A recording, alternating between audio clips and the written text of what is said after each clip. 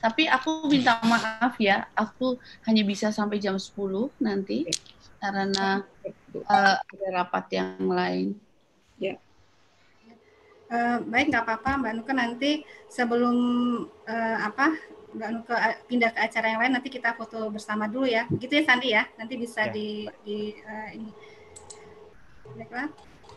Uh, saya mulai saja. Bismillahirrahmanirrahim. Assalamualaikum warahmatullahi wabarakatuh. Waalaikumsalam. Selamat pagi, Bapak, Ibu hadirin, peserta webinar yang kami hormati. Kami ucapkan selamat datang para peserta dan pembicara dalam acara webinar Pusat Penelitian Kedeputian Bidang Ilmu Pengetahuan Sosial dan Kemanusiaan LIPI dengan tema Webinar Peluncuran Buku dan Diskusi Perempuan Kepala Daerah dan kebijakan berspektif gender dalam penanggulangan kemiskinan dan pandemi COVID-19. Pandemi COVID-19 masih belum berakhir saat ini. Jumlah warga negara yang meninggal dunia semakin bertambah, termasuk di Indonesia, meski yang sembuh juga banyak. Namun, permasalahan lain juga muncul, salah satunya adalah persoalan pengangguran yang meningkat sehingga berdampak pada kemiskinan. Pada tahun 2019, pemerintah berhasil menekan tingkat kemiskinan menjadi single digit, yaitu sebesar 9,22 persen. Namun, prediksi Bappenas, dampak COVID-19 berpotensi menaikkan kembali tingkat kemiskinan menjadi 9,7 sampai 10,2 persen pada tahun 2020 atau sekitar 2 juta orang penduduk miskin akan bertambah. Kondisi ini sangat rentan berdampak pada perempuan dalam konteks posisi perempuan dalam keluarga dan sebagai perempuan pekerja. Kebijakan pembatasan sosial juga menambah beban kerja berlapis terhadap perempuan, terutama sebagai ibu. Di sini perlu ada suatu kebijakan yang memihak pada perempuan untuk memperoleh kesetaraan dan kerjasama dalam berbagi peran di rumah tangga. Pada pagi hari ini, kita akan membahas tema perempuan kepala daerah dan kebijakan berperspektif gender dalam penanggulangan kemiskinan dan pandemi COVID-19 bersama para pembicara kita yang sudah hadir di dalam meeting room ini. Baiklah, sebelum menuju pada acara diskusi, marilah kita dengarkan terlebih dahulu sambutan dan sekaligus pembukaan kegiatan webinar ini yang akan disampaikan oleh Ibu Profesor Dr. Tri Nuke Pujiastuti selaku Deputi Bidang Ilmu Pengetahuan Sosial dan Kemanusiaan LIPI. Kepada Ibu Deputi, kami persilahkan. Terima kasih uh, kepada eh, teman-teman uh, dari P2P yang telah memberi kesempatan pada saya bicara. Assalamualaikum warahmatullahi wabarakatuh. Salam sejahtera dan salam sehat uh, kepada Bapak Ibu semuanya.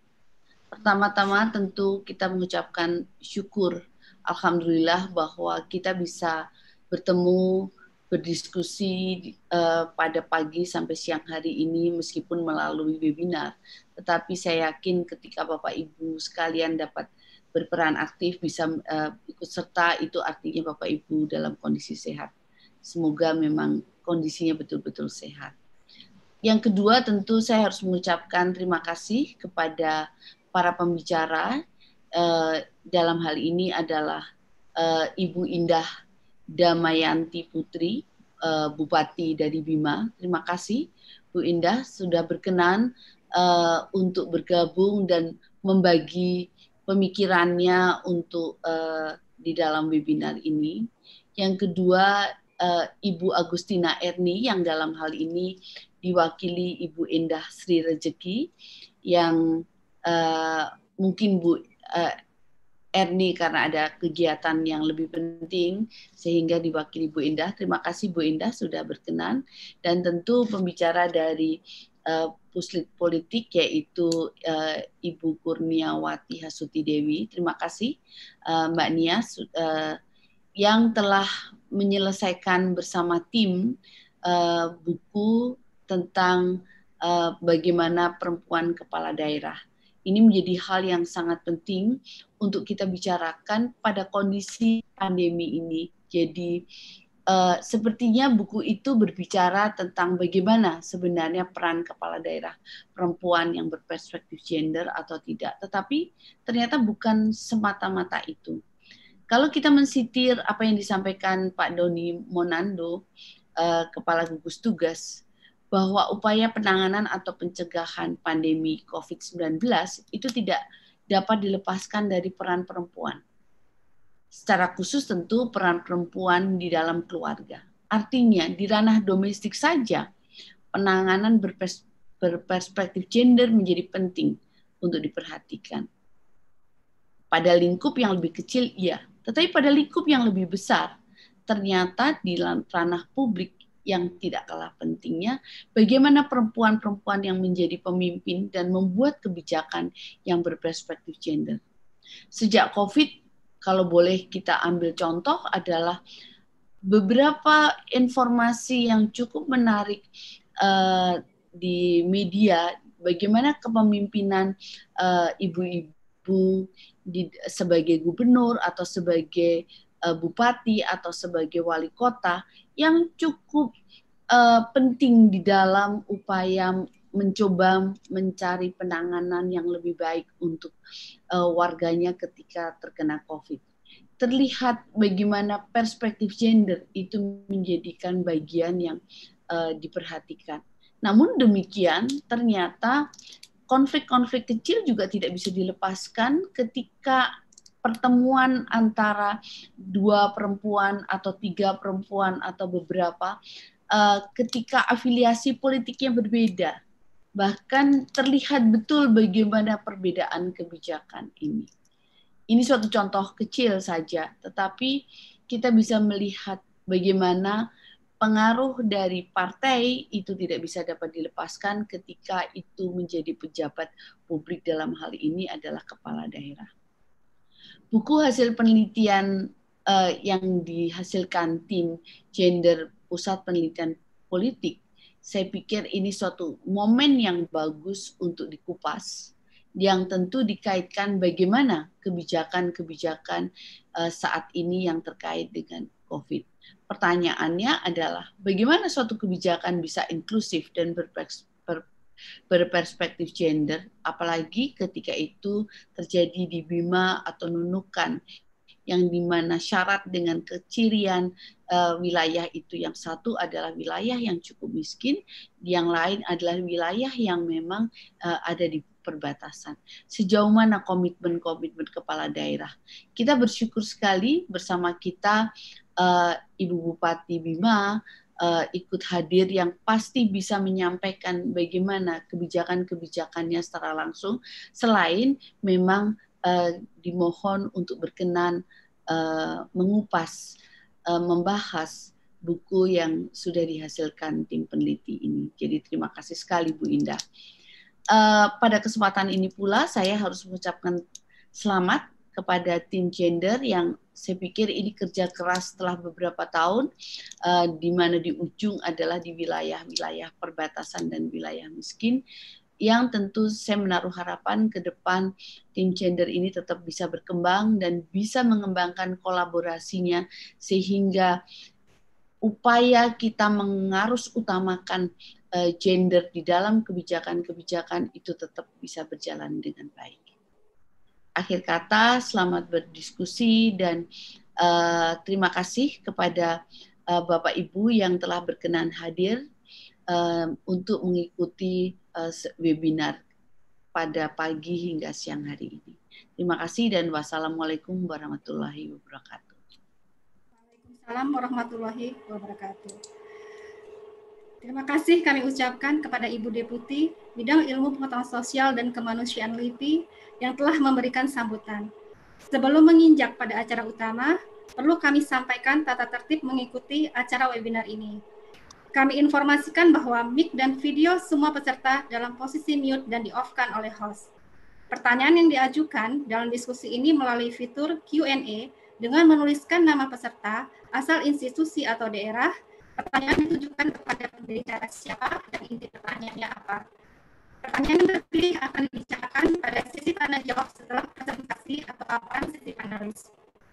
Pada keterangan acara, Peserta diminta untuk mengisi polling dan akan dibacakan hasilnya di akhir acara. Mohon para peserta dapat mengisinya. Bahan materi dan pembicara akan dibagikan pada akhir acara. Dan dimohon kepada semua peserta webinar mematuhi tata webinar ini. Baiklah, sebelum kita masuk pada acara utama, eh, berhubung Ibu Deputi ada acara lainnya juga, eh, kita foto bersama sebentar. Silakan kepada host eh, dan para pembicara untuk membuka figurnya sebentar.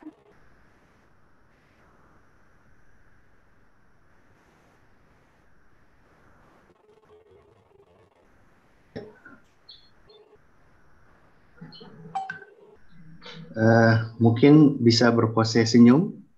Saya hitung sampai uh, tiga, satu, dua, tiga. Iya, terima kasih. Terima kasih, Mas Pandu. Baiklah, Bapak Ibu hadirin sekalian, menginjak pada acara utama, kami persilakan kepada moderator yang akan memimpin webinar pada pagi hari ini, yaitu Mas Sandi Nur Iqbal Raharjo. Kepada Mas Sandi, kami persilahkan.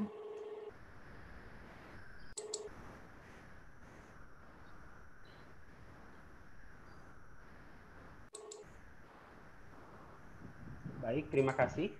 Mohon izin, apakah suara saya terdengar dengan baik? Ya, terdengar. Terdengar dengan baik. Baik, uh, terima kasih uh, Ibu Leti uh, selaku MC yang telah memberikan kesempatan kepada saya untuk menjadi moderator pada acara diskusi kita pada pagi hari ini. Uh, senang sekali rasanya kami dari Pusat Penelitian Politik LIPI kembali menghadirkan rangkaian webinar yang membahas tentang isu-isu perpolitikan di Indonesia yang saat ini sedang berkembang, baik itu isu-isu politik lokal, politik nasional maupun politik internasional. Pada hari ini salah satu isu yang menurut saya sangat menarik untuk dibahas adalah kiprah, performa, kinerja, peran dari perempuan kepala daerah dalam konteks menanggulangi kemiskinan dan masalah yang sekarang sedang terjadi yaitu pandemi COVID-19 uh, perlu Bapak dan Ibu ketahui uh, semuanya bahwa hari ini uh, kalau kita lihat sebelum kita masuk ke diskusi, uh, kalau kita lihat dari komposisi peserta yang sudah mendaftar pada acara hari ini, itu 73,4 persen adalah perempuan dan 26,6 persen adalah laki-laki. Hal ini menunjukkan bahwa isu-isu terkait dengan perempuan kepala daerah atau perspektif gender ternyata masih lebih banyak diminati oleh perempuan tetapi juga sudah ada laki-laki yang tertarik untuk mendalami isu-isu tersebut. Walaupun memang proporsinya belum seimbang. Padahal kalau kita tahu bahwa perspektif gender itu sendiri tidak hanya menggantungkan upayanya pada perempuan saja, tapi perlu partisipasi aktif dari kedua belah pihak, baik perempuan maupun laki-laki.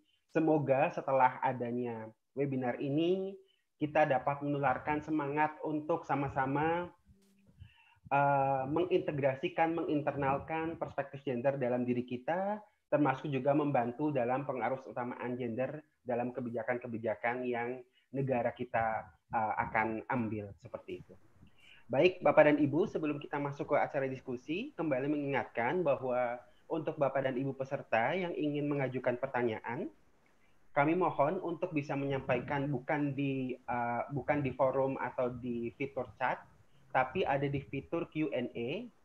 Uh, uh, kemudian Bapak dan Ibu bisa menuliskan nama, institusi atau asal daerah, dan uh, pembicara yang Bapak dan Ibu pertanyaannya ditujukan. Baik, langsung saja untuk mengaktifkan waktu, uh, kita masuk pada sesi sesi uh, pemaparan. Uh, hari ini kita beruntung sekali karena sudah kehadiran tiga pembicara dari tiga institusi yang berbeda yaitu peneliti dari Pusat Penelitian Politik LIPI, kemudian dari Kementerian Pemberdayaan Perempuan dan Perlindungan Anak Republik Indonesia, serta dari uh, daerah yaitu Bupati Kabupaten Bima, Nusa Tenggara Barat. Baik, untuk yang pertama, uh, kami persilahkan kepada Dr. Kurniawati Hasuti Dewi, SIP MA ONS. Beliau adalah pendiri sekaligus koordinator tim gender dan politik di Pusat Penelitian Politik LIPI yang sudah didirikan sejak tahun 2015 dan berlangsung hingga sekarang 2020. Beliau menyelesaikan pendidikan uh, S1-nya dari Departemen Politik dari Universitas Diponegoro di Semarang tahun 2000. Kemudian uh, masternya beliau dapatkan dari Asian Studies Australia, Australia National University tahun 2007 dan berhasil menyelesaikan pendidikan doktoral dari Kyoto University tahun 2012. Saat ini beliau juga uh, diamanahi menjadi Sekretaris Jenderal pada ASEAN Association of Women Studies periode tahun 2020 sampai tahun 2022.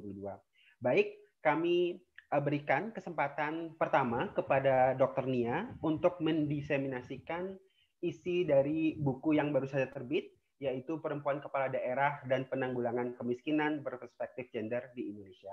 Silakan Ibu Nia.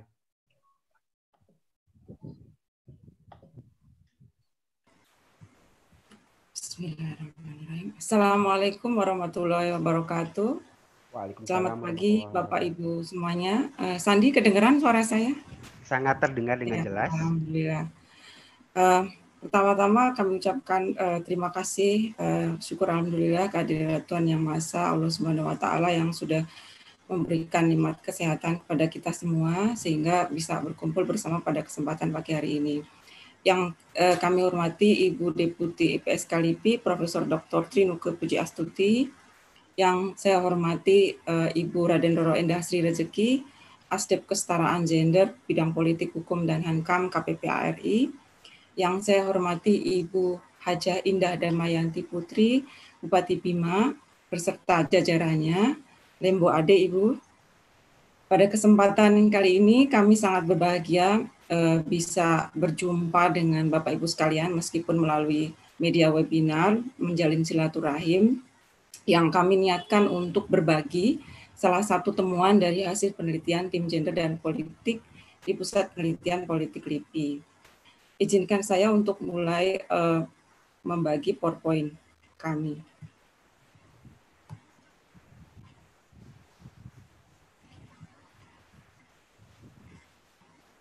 Nah, uh, sebelum kami mulai menjelaskan mengenai buku yang kami akan sharing, pertama perlu kami jelaskan terlebih dahulu dasar pemikiran atau dasar akademik yang menjadi uh, dasar kenapa penting membentuk tim gender dan politik di Pusat Penelitian Politik LIPI. Jadi sejak pilkada langsung diperlakukan tahun 2005 dengan Undang-Undang Nomor 32 2004 yang kemudian sudah diupdate Undang-Undang Nomor 10 Tahun 2016, semakin banyak perempuan kepala daerah yang muncul melalui pilkada langsung. Nah, pada tahun 2012, eh, disertasi saya di Kyoto University berusaha untuk memahami faktor-faktor apa yang berkontribusi di balik kemunculan para perempuan kepala daerah tersebut. Pada waktu itu, faktor-faktor yang paling signifikan adalah debat mengenai penting atau boleh tidaknya perempuan Muslim menjadi eh, menjadi pemimpin kepala daerah misalnya.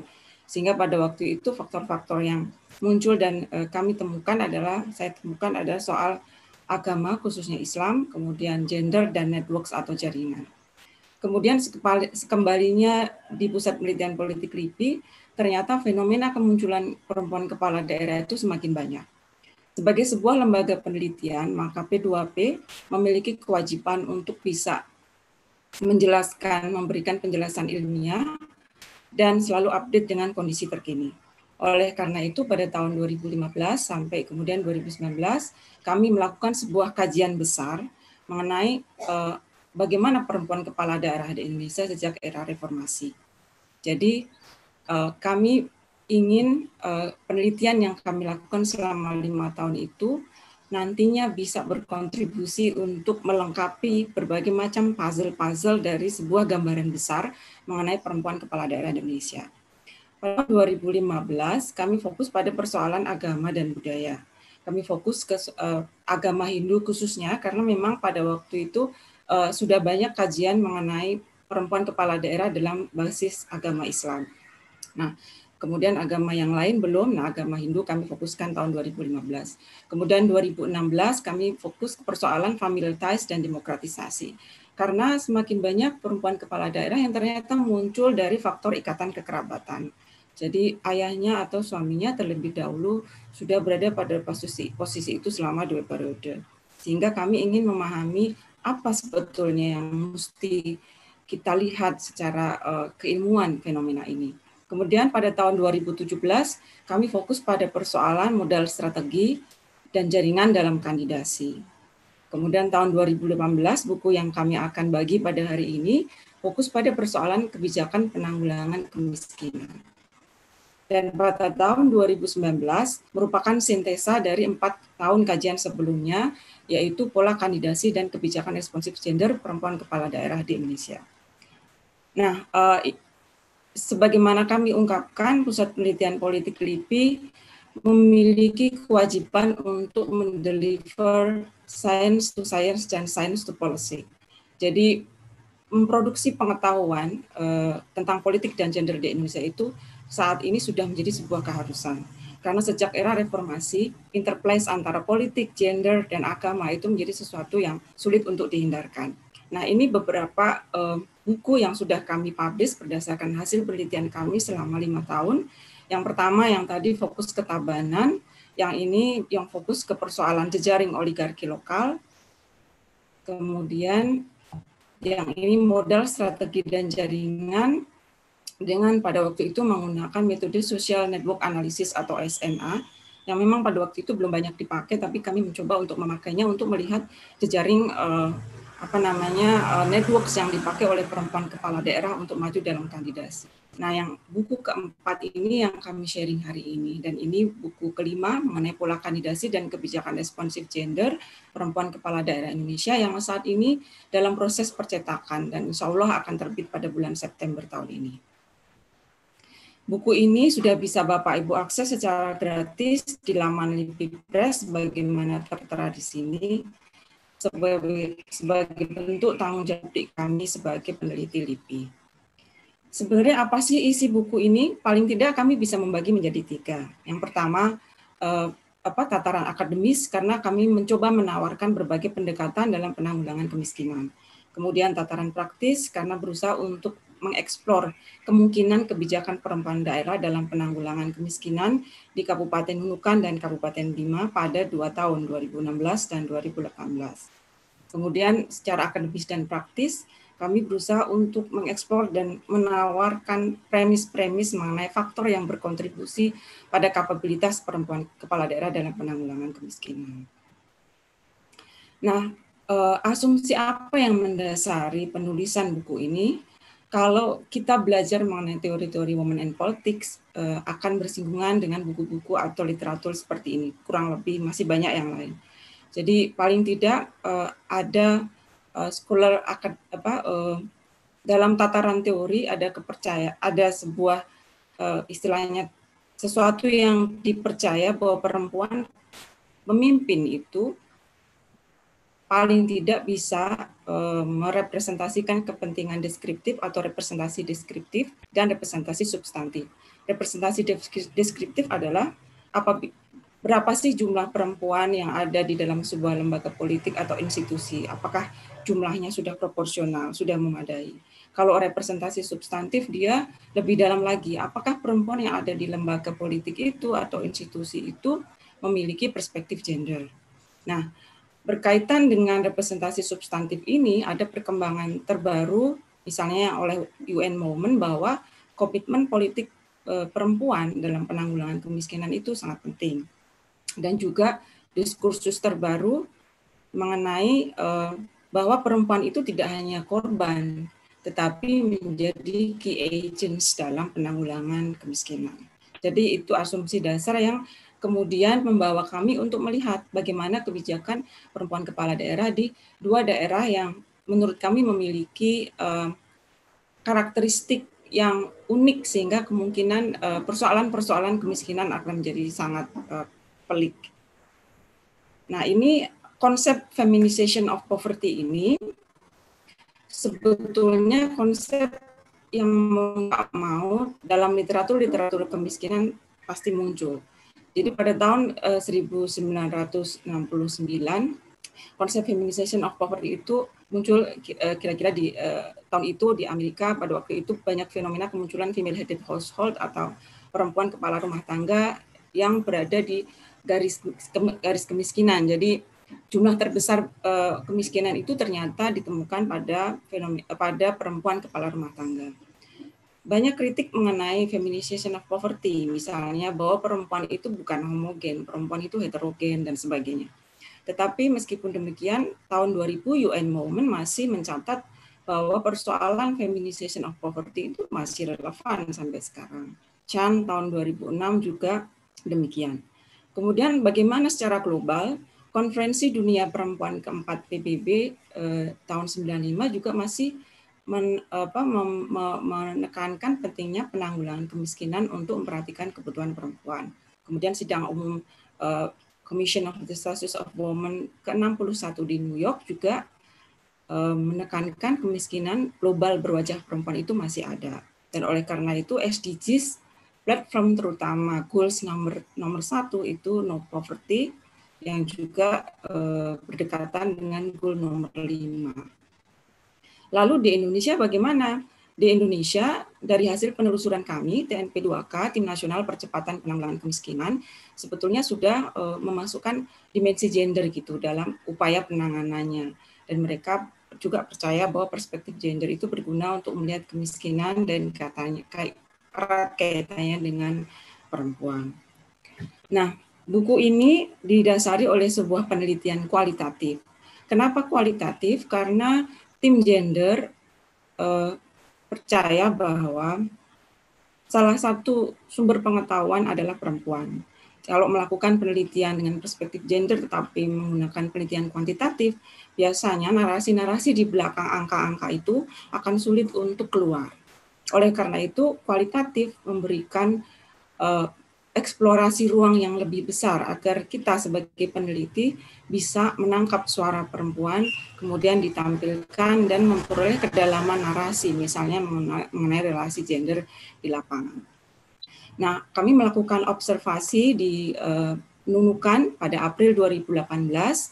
Di sana uh, dipimpin oleh Ibu Hajah Asmin Laura Hafid, ini bupati perempuan termuda se-Indonesia dan juga maksudnya bupati termuda se-Indonesia umur 31 tahun itu.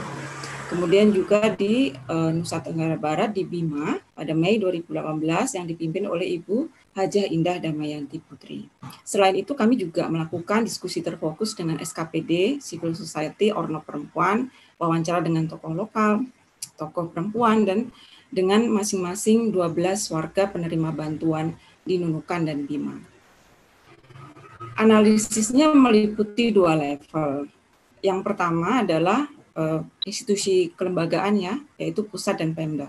Pusat ini mau nggak mau kami mesti memahami juga karena persoalan penanggulangan kemiskinan itu rantai kebijakannya mulai dari nasional, Pemda sampai ke bawah gitu. Jadi uh, mau nggak mau kami juga di lapangan nanti bertemu dengan uh, para keluarga penerima manfaat, uh, misalnya PKH dan sebagainya. Kemudian ini kami melihat diturunkan melihat kapabilitas perempuan kepala daerah, yaitu Bupati Nunukan dan Bupati Bima, kemudian melihat kebijakan di daerahnya. Nah, kemudian masyarakatnya juga kita lihat bagaimana pendapat masyarakat tentang kebijakan Pemda terkait hal itu, kapabilitasnya eksternal, apakah masyarakat dilibatkan dalam pengambilan keputusan atau program-program yang ada, kemudian internal bagaimana relasi gender di dalam keluarga eh, keluarga penerima manfaat KPM.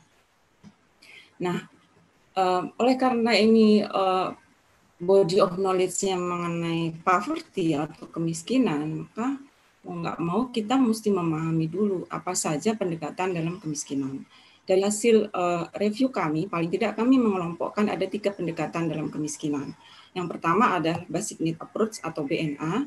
Pendekatan ini sudah uh, berkembang sejak tahun 1970-an di, di istilahnya diperkenalkan oleh ILO, kemudian diperhatikan sejak tahun 1990-an oleh Bank Dunia. Prinsip dasar dari basic need approach itu adalah kemiskinan dimaknai sebagai tidak mampu memenuhi kebutuhan dasar standar hidup minimal. Jadi uh, tidak mampu memperoleh pendidikan yang baik, kesehatan, tidak bisa berproduksi atau apa apa mem, uh, menghasilkan uh, kebutuhan hidup uh, berusaha gitu. Nah, orientasinya adalah pendapatan. Uh, kemudian tujuan intervensinya adalah penghidupan. Jadi misalnya kayak program-program dasar untuk pengentasan pendidikan, PLT, terus pendidik apa program-program yang menyasar kesehatan masyarakat. Jadi orientasinya bagaimana penghidupan masyarakat itu layak uh, pada uh, untuk memenuhi kebutuhan dasarnya. Kemudian yang kedua, capabilities approach itu diperkenalkan oleh Profesor Amartya Sen. Uh, ini kalau yang belajar ekonomi mungkin lebih paham ya. Jadi pada dasarnya pendekatan kapabilitas ini percaya bahwa kemiskinan itu adalah perampasan kemampuan dasar atau deprivation of basic capabilities. Adanya kekurangan kesempatan atau opportunities dan menekankan pentingnya kebebasan yang sama untuk memilih apa yang berharga dalam hidup agar seseorang itu bisa functioning secara optimal. Nah, ini dipakai oleh UNDP untuk menyusun indeks pembangunan manusia. Orientasinya humanistik, kemudian deliberatif, sesuai dengan kondisi lokal dan dia bottom up. Tujuannya apa? Pemberdayaan. Oleh karena ini sebuah approach, maka dia dengan mudah sebetulnya bisa diadopsi oleh uh, uh, kajian lainnya untuk disandingkan gitu. Dalam konteks ini, tim gender merasa capabilities approach ini paling memiliki resonansi untuk bisa berdekatan uh, uh, dan dipakai dalam menganalisis kemiskinan. Nah, yang ketiga adalah multidimensional approach yang dikeluarkan PBB tahun 2010 yaitu tidak kekurangan salah satu dari tiga dimensi HDI, yaitu kesehatan, pendidikan, standar hidup minimal. Saat ini PBB memakai ini di dalam laman uh, websitenya. Kemudian bagaimana posisi posisi tim sebagai sebuah kajian gender, kami mesti memposisikan diri dari berbagai literatur yang ada. Nah, menurut kami basic need approach itu penting, tetapi itu tidak cukup. Dia perlu ditambahi dengan pendekatan kapabilitas dengan perspektif gender. Ini beberapa um, apa uh, paper yang setidaknya kami temukan dan kami setuju dengan Razafi bahwa perspektif gender dapat memperlihatkan dengan seksama proses yang beragam di dalam keluarga. Adanya double burden, adanya time poverty yang berkontribusi dalam kemiskinan. Kemudian juga setuju dengan Bastos et al bahwa gender sensitive approach in poverty itu penting karena kemiskinan tidak hanya di dalam dimensi rumah tangga atau household saja, tapi juga bisa melihat dinamika di dalam rumah tangga untuk mengungkap pola ketidakadilan gender termasuk alokasi, akses dan kontrol dari sumber daya yang ada di dalam rumah tangga. Nah, bagaimana di Indonesia? Ini cepat saja ya. Jadi pada masa Orde Baru, menurut analisis kami, eh, pada waktu itu menggunakan BNA, Basic Need Approach. Pada masa SBY sudah menggunakan pendekatan, tetap menggunakan pendekatan kebutuhan dasar, ada sedikit elemen kapabilitas. Kalau nggak salah di klaster ketiga ya, karena program kemis, penanggulangan kemiskinan itu dibagi ada beberapa klaster gitu. Kemudian pada masa Jokowi juga masih menggunakan pendekatan kebutuhan dasar. Nah, dengan perspektif gender ini uh, kami tandai bintang karena sepemahaman kami sampai dengan tahun 2018 ketika kami melakukan riset setidaknya ya uh, penerima PKH uh, program keluarga harapan dan UEP itu yang menerima adalah perempuan. Dan kemudian ketika kami melakukan penelitian di Nunukan dan di Bima, daftar penerima keluarga penerima manfaat atau KPM dari program-program pemerintah pusat itu adalah nama-nama perempuan gitu. Jadi perspektif gender sudah dipakai nampaknya di di, di sini. Kalau tidak salah eh, itu mengalami perubahan sekitar dari 2-3 tahun sebelumnya tidak seperti itu, tapi kemudian ada praktek misalnya KPM-nya yang ada di dalam list itu adalah uh, kepala keluarga yaitu nama ayahnya eh nama suaminya. Tapi ternyata dalam beberapa praktek yang kami temui dalam wawancara mendalam itu termasuk yang dinemukan itu suaminya sendiri yang bilang pada waktu itu bahwa kalau saya yang menerima maka nggak sampai rumah. Saya pakai untuk beli apa ya minuman saya pakai untuk beli apa ban motor dan sebagainya. Jadi pada waktu itu akhirnya ada kebijakan untuk di dalam list itu yang menerima pertama kali adalah istrinya.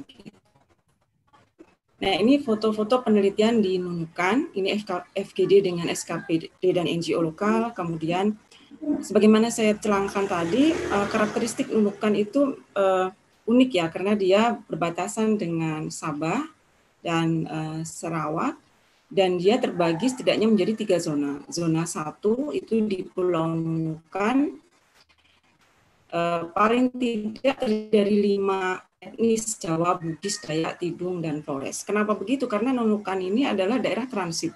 Banyak TKI dan TKW dari Indonesia Timur yang akan bekerja ke Malaysia, mereka terlebih dulu transit di Nunukan. Bahkan banyak juga kasus-kasus yang dibahas uh, di bagian Nunukan, TKI dan TKW yang dideportasi dari Malaysia ke Indonesia, mereka tidak mau pulang ke daerahnya asal, misalnya ke NTT atau NTB gitu. Jadi sebagian besar dari mereka kemudian tetap tinggal di Pulau Nunukan itu. Akhirnya masyarakat menjadi heterogen secara etnis. Ada Jawa, Bugis, Dayak, Tidung, dan Flores. Dan ini contoh yang kami lakukan dengan ibu ibu-ibu yang dari Flores. Kemudian Pulau Sebatik itu di zona 2. Itu sebagian besar masyarakatnya dari Bugis dan Jawa. Dari Pulau Nunukan kami harus menggunakan speedboat selama 15 menit dengan biaya 60.000 per orang pulang pergi bisa Bapak Ibu bayangkan bagaimana susahnya akses ke layanan dasar misalnya pendidikan, kesehatan, harga-harga barang kebutuhan pokok misalnya gula pasir atau beras bagi masyarakat di Pulau Sebatik menjadi mahal karena mereka transportasinya harus mengambil dari uh, namanya uh, Pulau Nunukan. Tapi untuk mengatasi itu ternyata mereka lebih suka mengambil dan membeli barang-barang di perbatasan yaitu di Malaysia dengan menggunakan yang di, didistribusikan dengan menggunakan perahu melalui sungai. Ini gambarnya dan ini perbatasan ini salah satu wawancara kami. Nah di zona 3 itu di Sei Manggaris itu sebagian besar e, masyarakatnya Dayak Londaya itu kami dari Pulau Nunukan harus menggunakan speedboat selama satu setengah jam dengan biaya 450.000 per empat orang. Dan speedboat itu hanya ada dari sekitar jam 9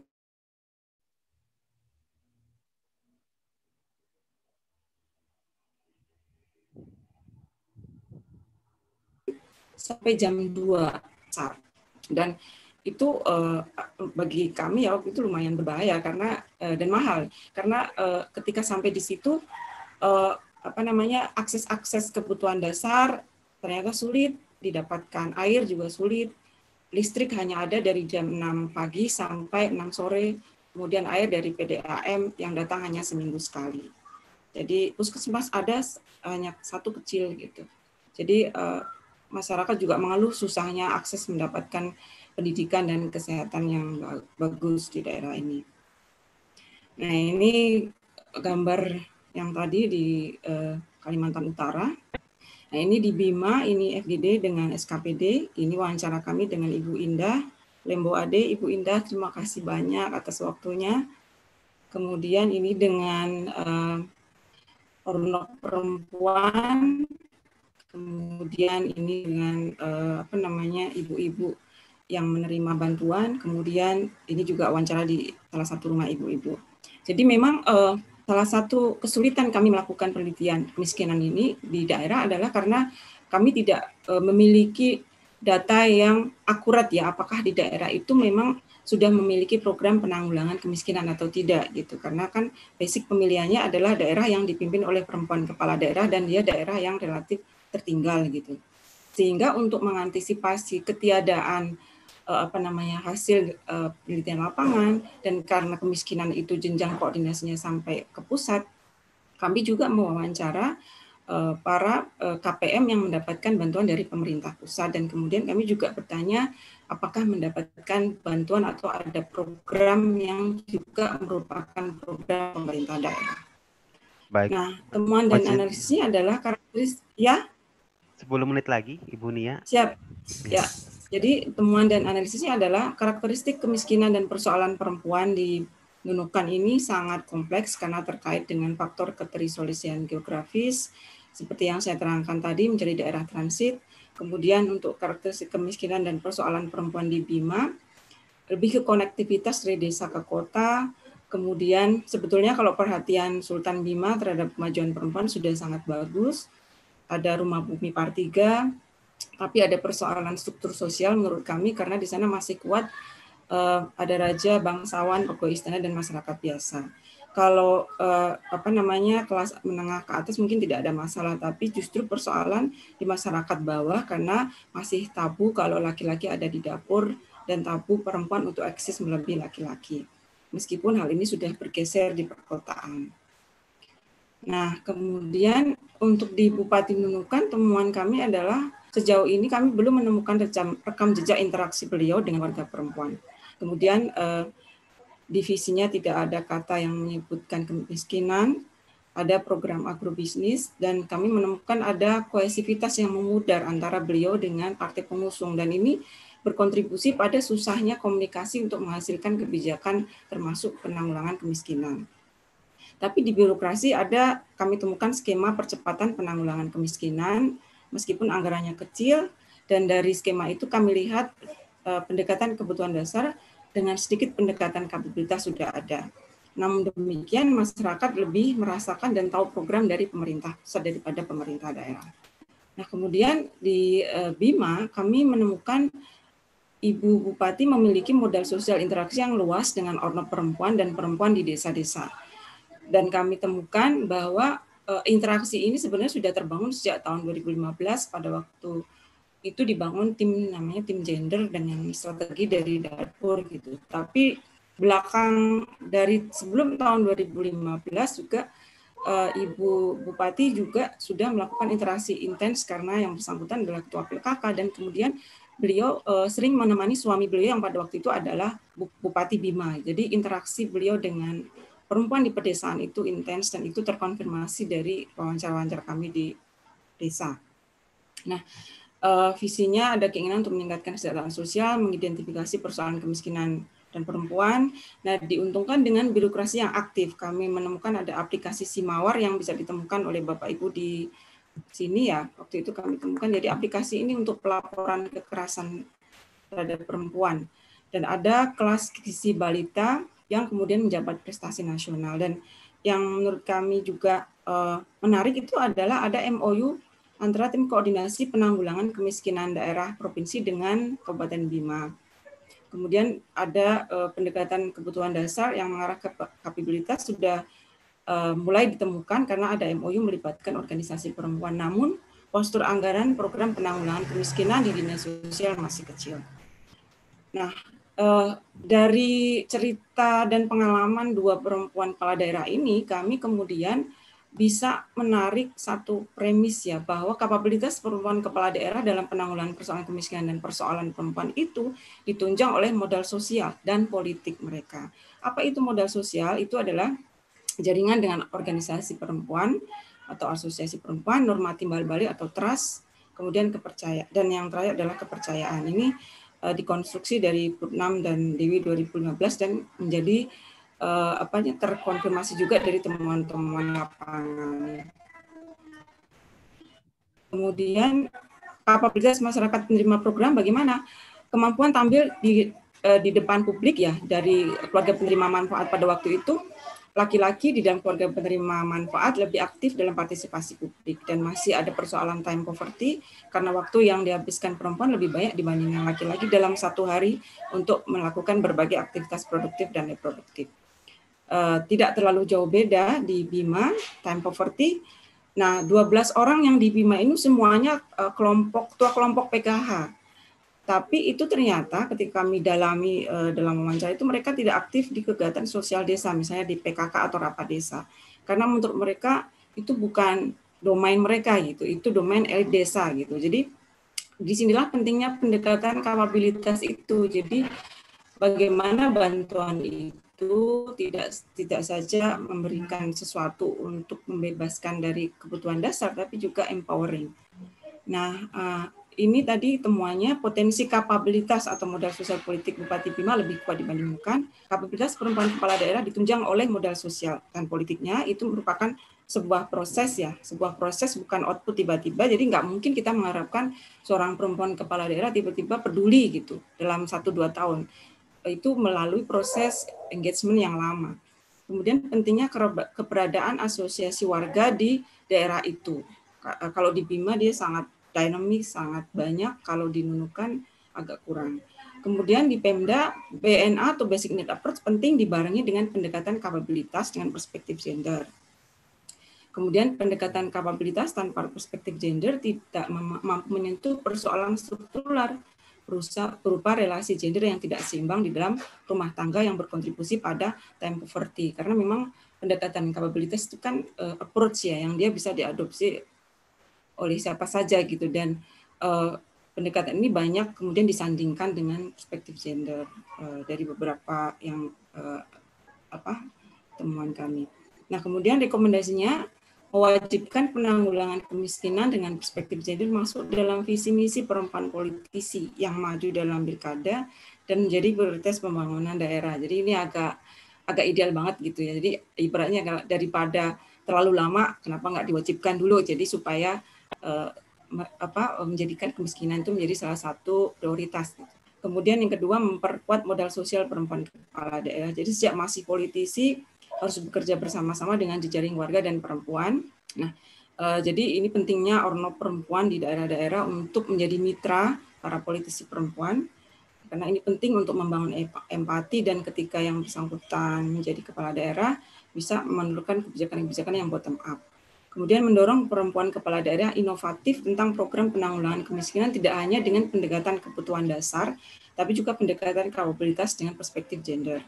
Pendampingan pelaksanaan penanggulangan kemiskinan dengan pendekatan kapabilitas di Pemda karena sejauh ini dari temuan kami ini belum kuat ya soal pendampingan untuk peningkatan kapabilitas itu dan uh, pada para penerima manfaat. Mendorong partisipasi politik dan pemberdayaan power to dan power within para perempuan penerima program penanggulangan kemiskinan. Jadi ini uh, bagian yang empowerment ini atau pemberdayaan ini sangat uh, cocok dengan capability approach karena dia kan tujuannya pemberdayaan. Jadi power to itu kemampuan, kewenangan untuk bisa memutuskan apa yang dia inginkan. Power within itu kesadaran diri dan kepercayaan diri. Jadi tadi ada contoh misalnya di Bima ketua PKH belum tentu dia berani ikut rapat PKK atau rapat desa karena dia bagi dia itu bukan domain dia gitu. Dia masih ah siapa sih saya gitu itu kan elit desa gitu. Nah, ini ada persoalan agar uh, itu uh, pendekatan kapabilitas dengan perspektif gender itu penting. Saya kira begitu ya, Pak Sandi. Jadi ya, baik. presentasi dari tim saya cukupkan demikian. Uh, terima kasih banyak atas waktu yang sudah diberikan. Uh, mudah-mudahan apa yang sudah kami bagikan bermanfaat, bisa memberikan uh, inspirasi dan uh, mohon maaf kalau ada kekurangan. Terima kasih banyak. Assalamualaikum warahmatullahi wabarakatuh. Waalaikumsalam warahmatullahi wabarakatuh. Baik, terima kasih uh, kepada Dr. Nia yang telah mempresentasikan uh, isi buku yang Bapak dan Ibu bisa download dari link yang tadi sudah disampaikan. Beberapa poin penting yang uh, sempat moderator catat, antara lain buku ini uh, membuktikan bahwa perempuan kepala daerah pun bisa mempunyai kapabilitas, bisa mempunyai kapasitas untuk bisa menginisiasi dan menerapkan kebijakan uh, dalam penanggulangan kemiskinan berperspektif gender yang tentu saja itu didukung oleh kapabilitas uh, perempuan kepala daerah dengan modal sosial dan modal politik yang kuat yang dibangun melalui networking dengan organisasi perempuan, norma timbal balik dan kepercayaan dari masyarakat serta perlu juga diantisipasi tantangan-tantangan seperti yang terjadi di Bima tadi, misalnya masih adanya persoalan struktural berupa relasi gender yang tidak seimbang sehingga pemberdayaan perempuan, upaya pemberdayaan perempuan masih uh, masih menghadapi tantangan yang perlu diantisipasi bersama. Kemudian tadi juga yang penting untuk dicatat adalah uh, buku ini merekomendasikan uh, berupa penguatan modal sosial bagi perempuan kepala daerah yang dapat uh, membangun empati yang bisa dilakukan sejak sebelum perempuan kepala perempuan calon kepala daerah tersebut maju ke dalam pilkada dan kemudian uh, mendorong pengadopsian pendekatan kapabilitas yang antara lain melalui eh, pendampingan-pendampingan bagi uh, para perempuan. Baik, uh, selanjutnya kami undang uh, Ibu Asisten Deputi Kesetaraan Gender Bidang Politik, Hukum dan Hankam, Kementerian Pemberdayaan Perempuan dan Perlindungan Anak Republik Indonesia, Ibu Raden Roro Endah Sri Rejeki SE Midea PhD.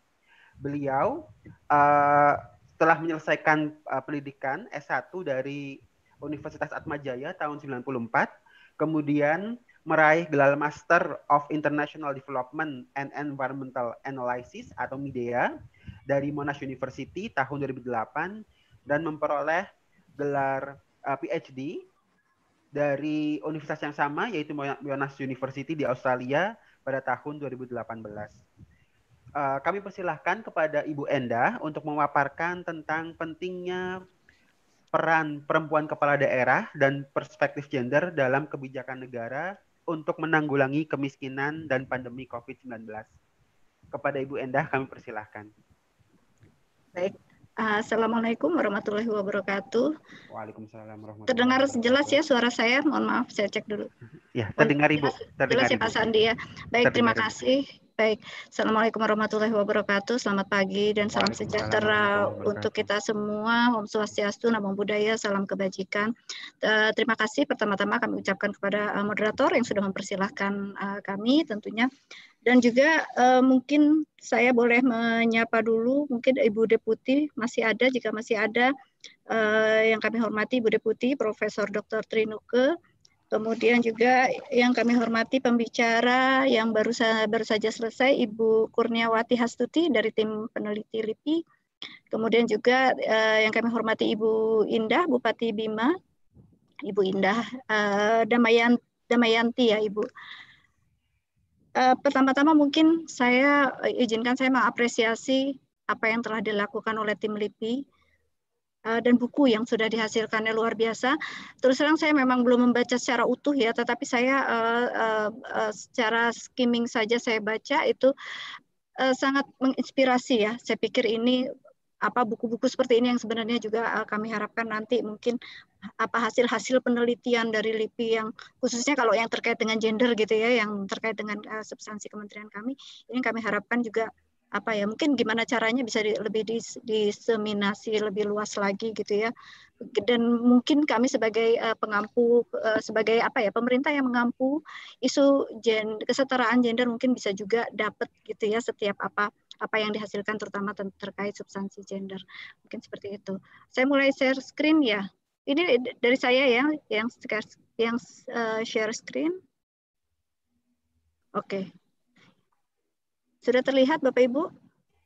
Sudah Ibu. Mohon di itu Bu ditampilkan slide-nya ya. Ya. Sudah terlihat ya? Baik. Sudah Ibu.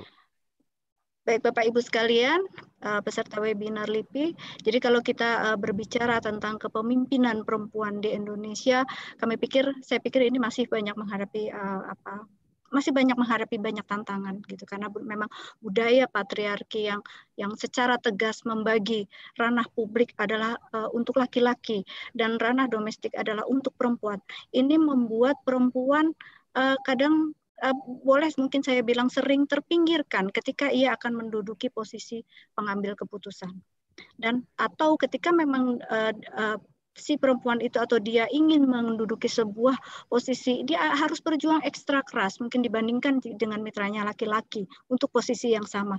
Karena memang eh, ranah pengambil keputusan atau pimpinan selama ini memang dianggap sebagai ranah publik dan sering diidentikan dengan sifat-sifat yang maskulin gitu ya seperti kekuasaan, seperti dominasi dan bahkan kadang mungkin memerlukan kekerasan gitu ya.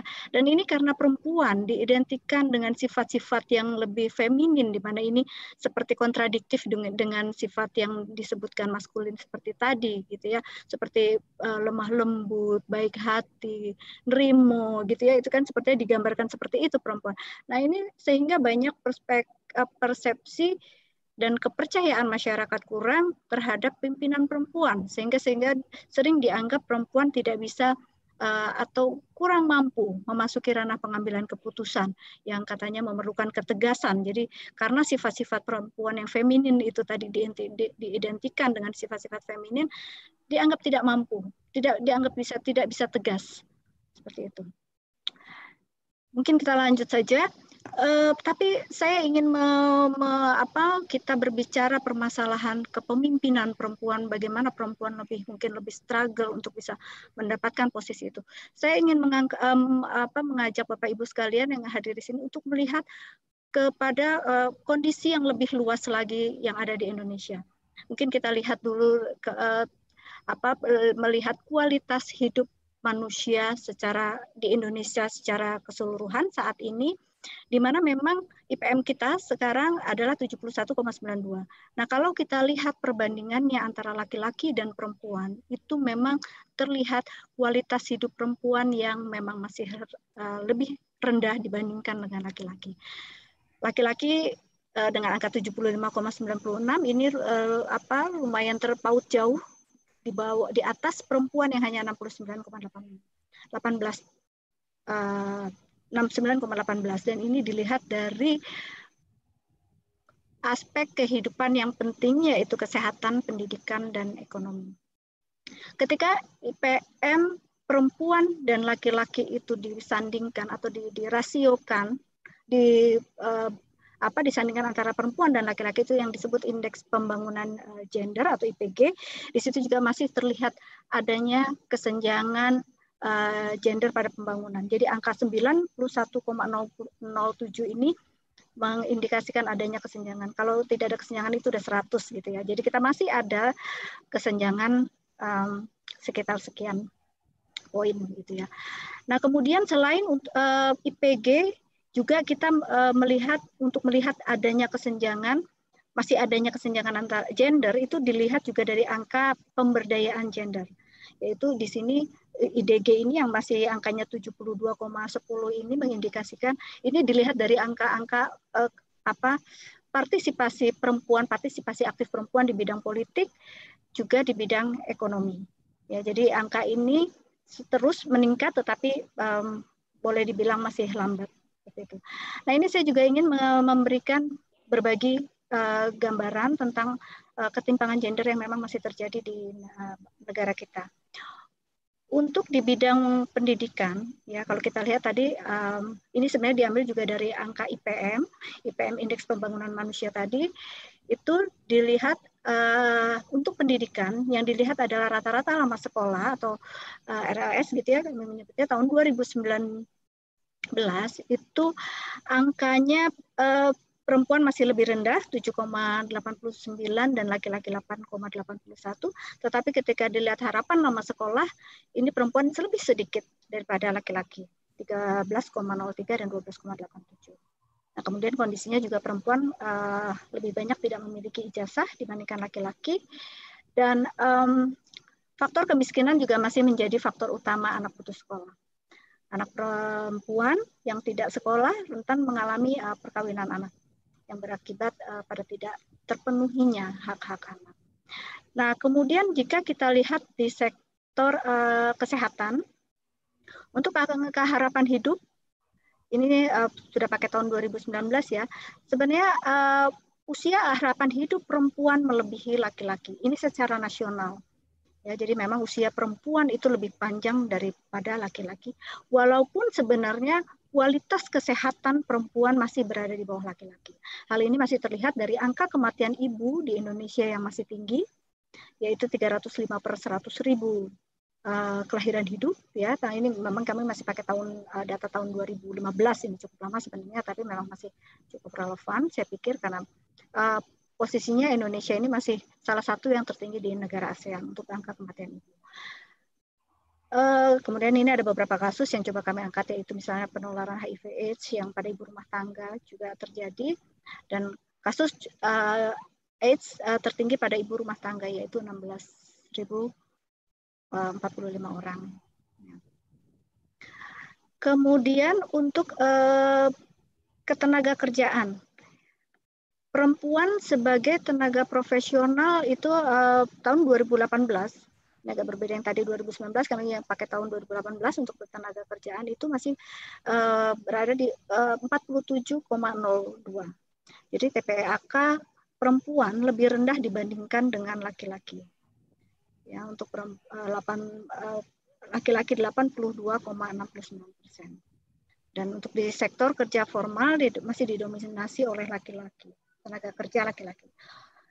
Mungkin kita beralih ke uh, apa sektor ekonomi di mana memang untuk uh, kesenjangan terbesar kalau tadi dilihat kesehatan sebenarnya angka harapan hidup perempuan itu lebih besar lebih tinggi daripada laki-laki tetapi kalau untuk di ekonomi itu adalah kesenjangan terbesar perempuan antara perempuan dan laki-laki ternyata memang ada di sini. Jadi pengeluaran per kapita perempuan itu hanya kurang lebih setengah, um, uh, enggak ya setengahnya tidak sih ya tapi lebih uh, setengah lebih ya daripada laki-laki sangat timpangnya sangat jauh gitu ya itu di sektor ekonomi ya uh, rasio pengeluaran per kapita perempuan dan laki-laki tidak mengecil secara berarti.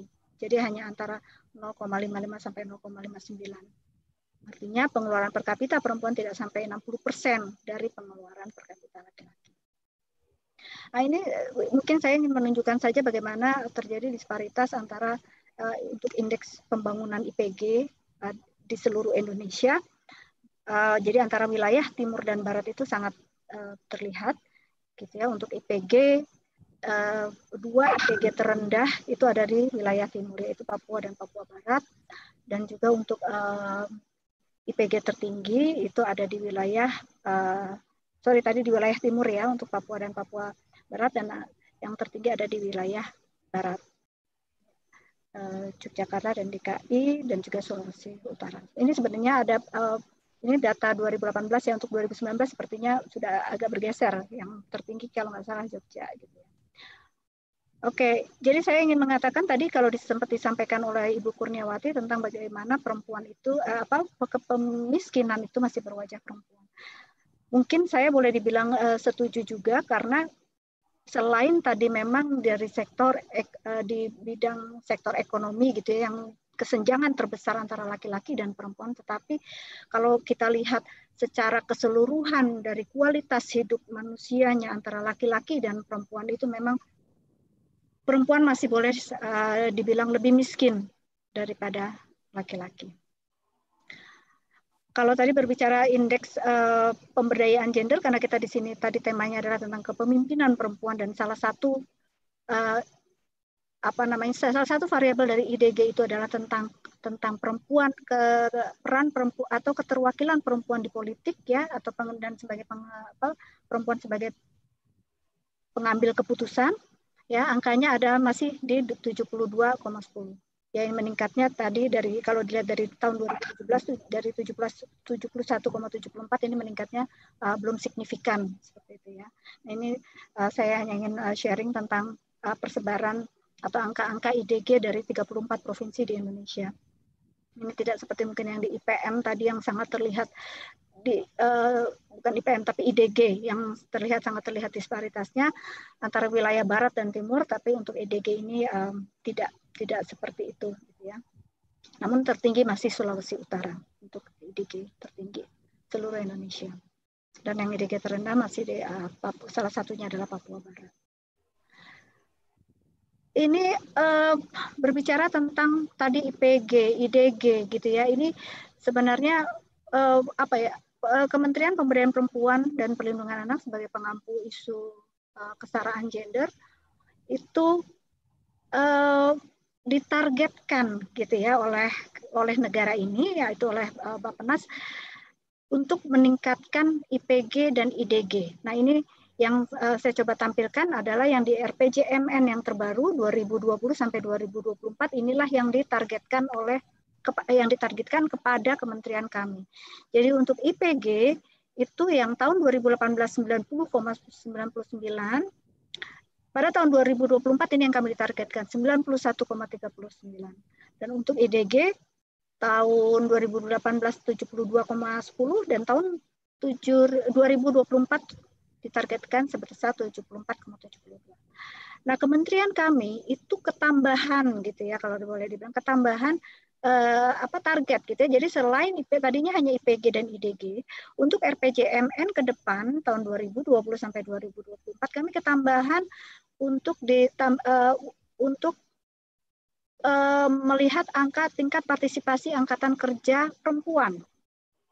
Ya tadi sudah saya sampaikan memang masih ada ketimpangan di situ dan ini untuk kementerian kami ditargetkan TPAK ke depan tahun 2024 meningkat menjadi 55 yang sebelumnya 51,88.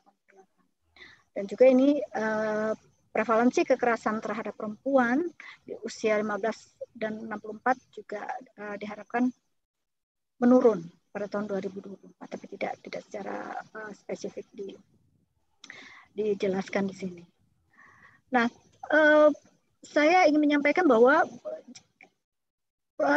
kondisi secara umum tadi ke ketimpangan gender antara laki-laki dan perempuan yang ini juga tergambar kepada uh, kepemimpinan, bagaimana kepemimpinan perempuan di Indonesia yang masih tadi di, di awal saya sampaikan masih menghadapi berbagai tantangan.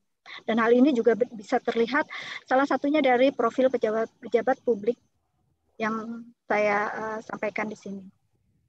Ya, jadi untuk uh, maaf, jadi di sini dulu ya profil pejabat publik perempuan. Seperti kita ketahui, jumlah menteri perempuan pada kabinet yang sekarang eh, menurun cukup cukup lumayan ya. Sebenarnya dari yang sebelumnya pada awal kabinet sebelumnya itu masih ada sembilan menteri perempuan walaupun akhirnya jadi delapan gitu ya. Tapi pada kabinet yang sekarang itu uh, cukup drastis, drastis turunnya menjadi hanya lima dan itu hanya sekitar 14 persen dalam kabinet yang sekarang Kemudian tetapi kita juga bisa uh, berbangga karena ketua DPR RI adalah perempuan untuk pertama kalinya di Indonesia.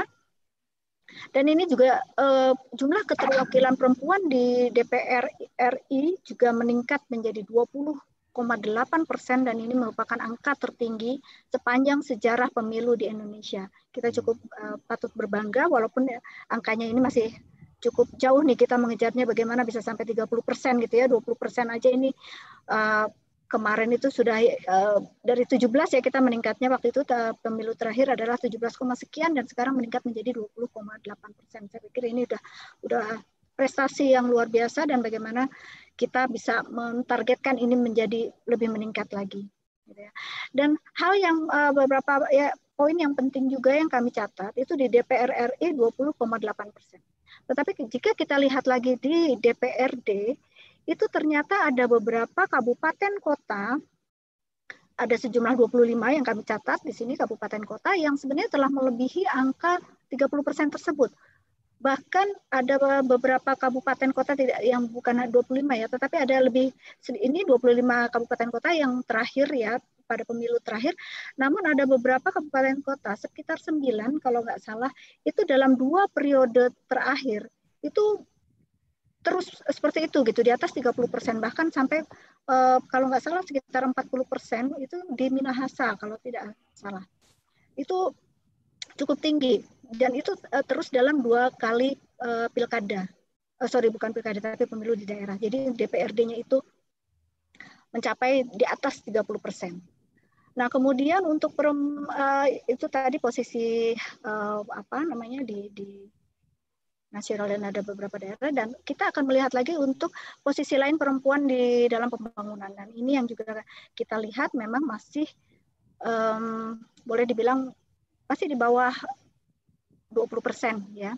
Untuk kepala daerah itu hanya 8 persen perempuan dan 10 persen wakil kepala daerah perempuan dan untuk pejabat PNS eh, eselon 1 itu hanya mencakup 16,58 persen dan eselon 2 13 persen.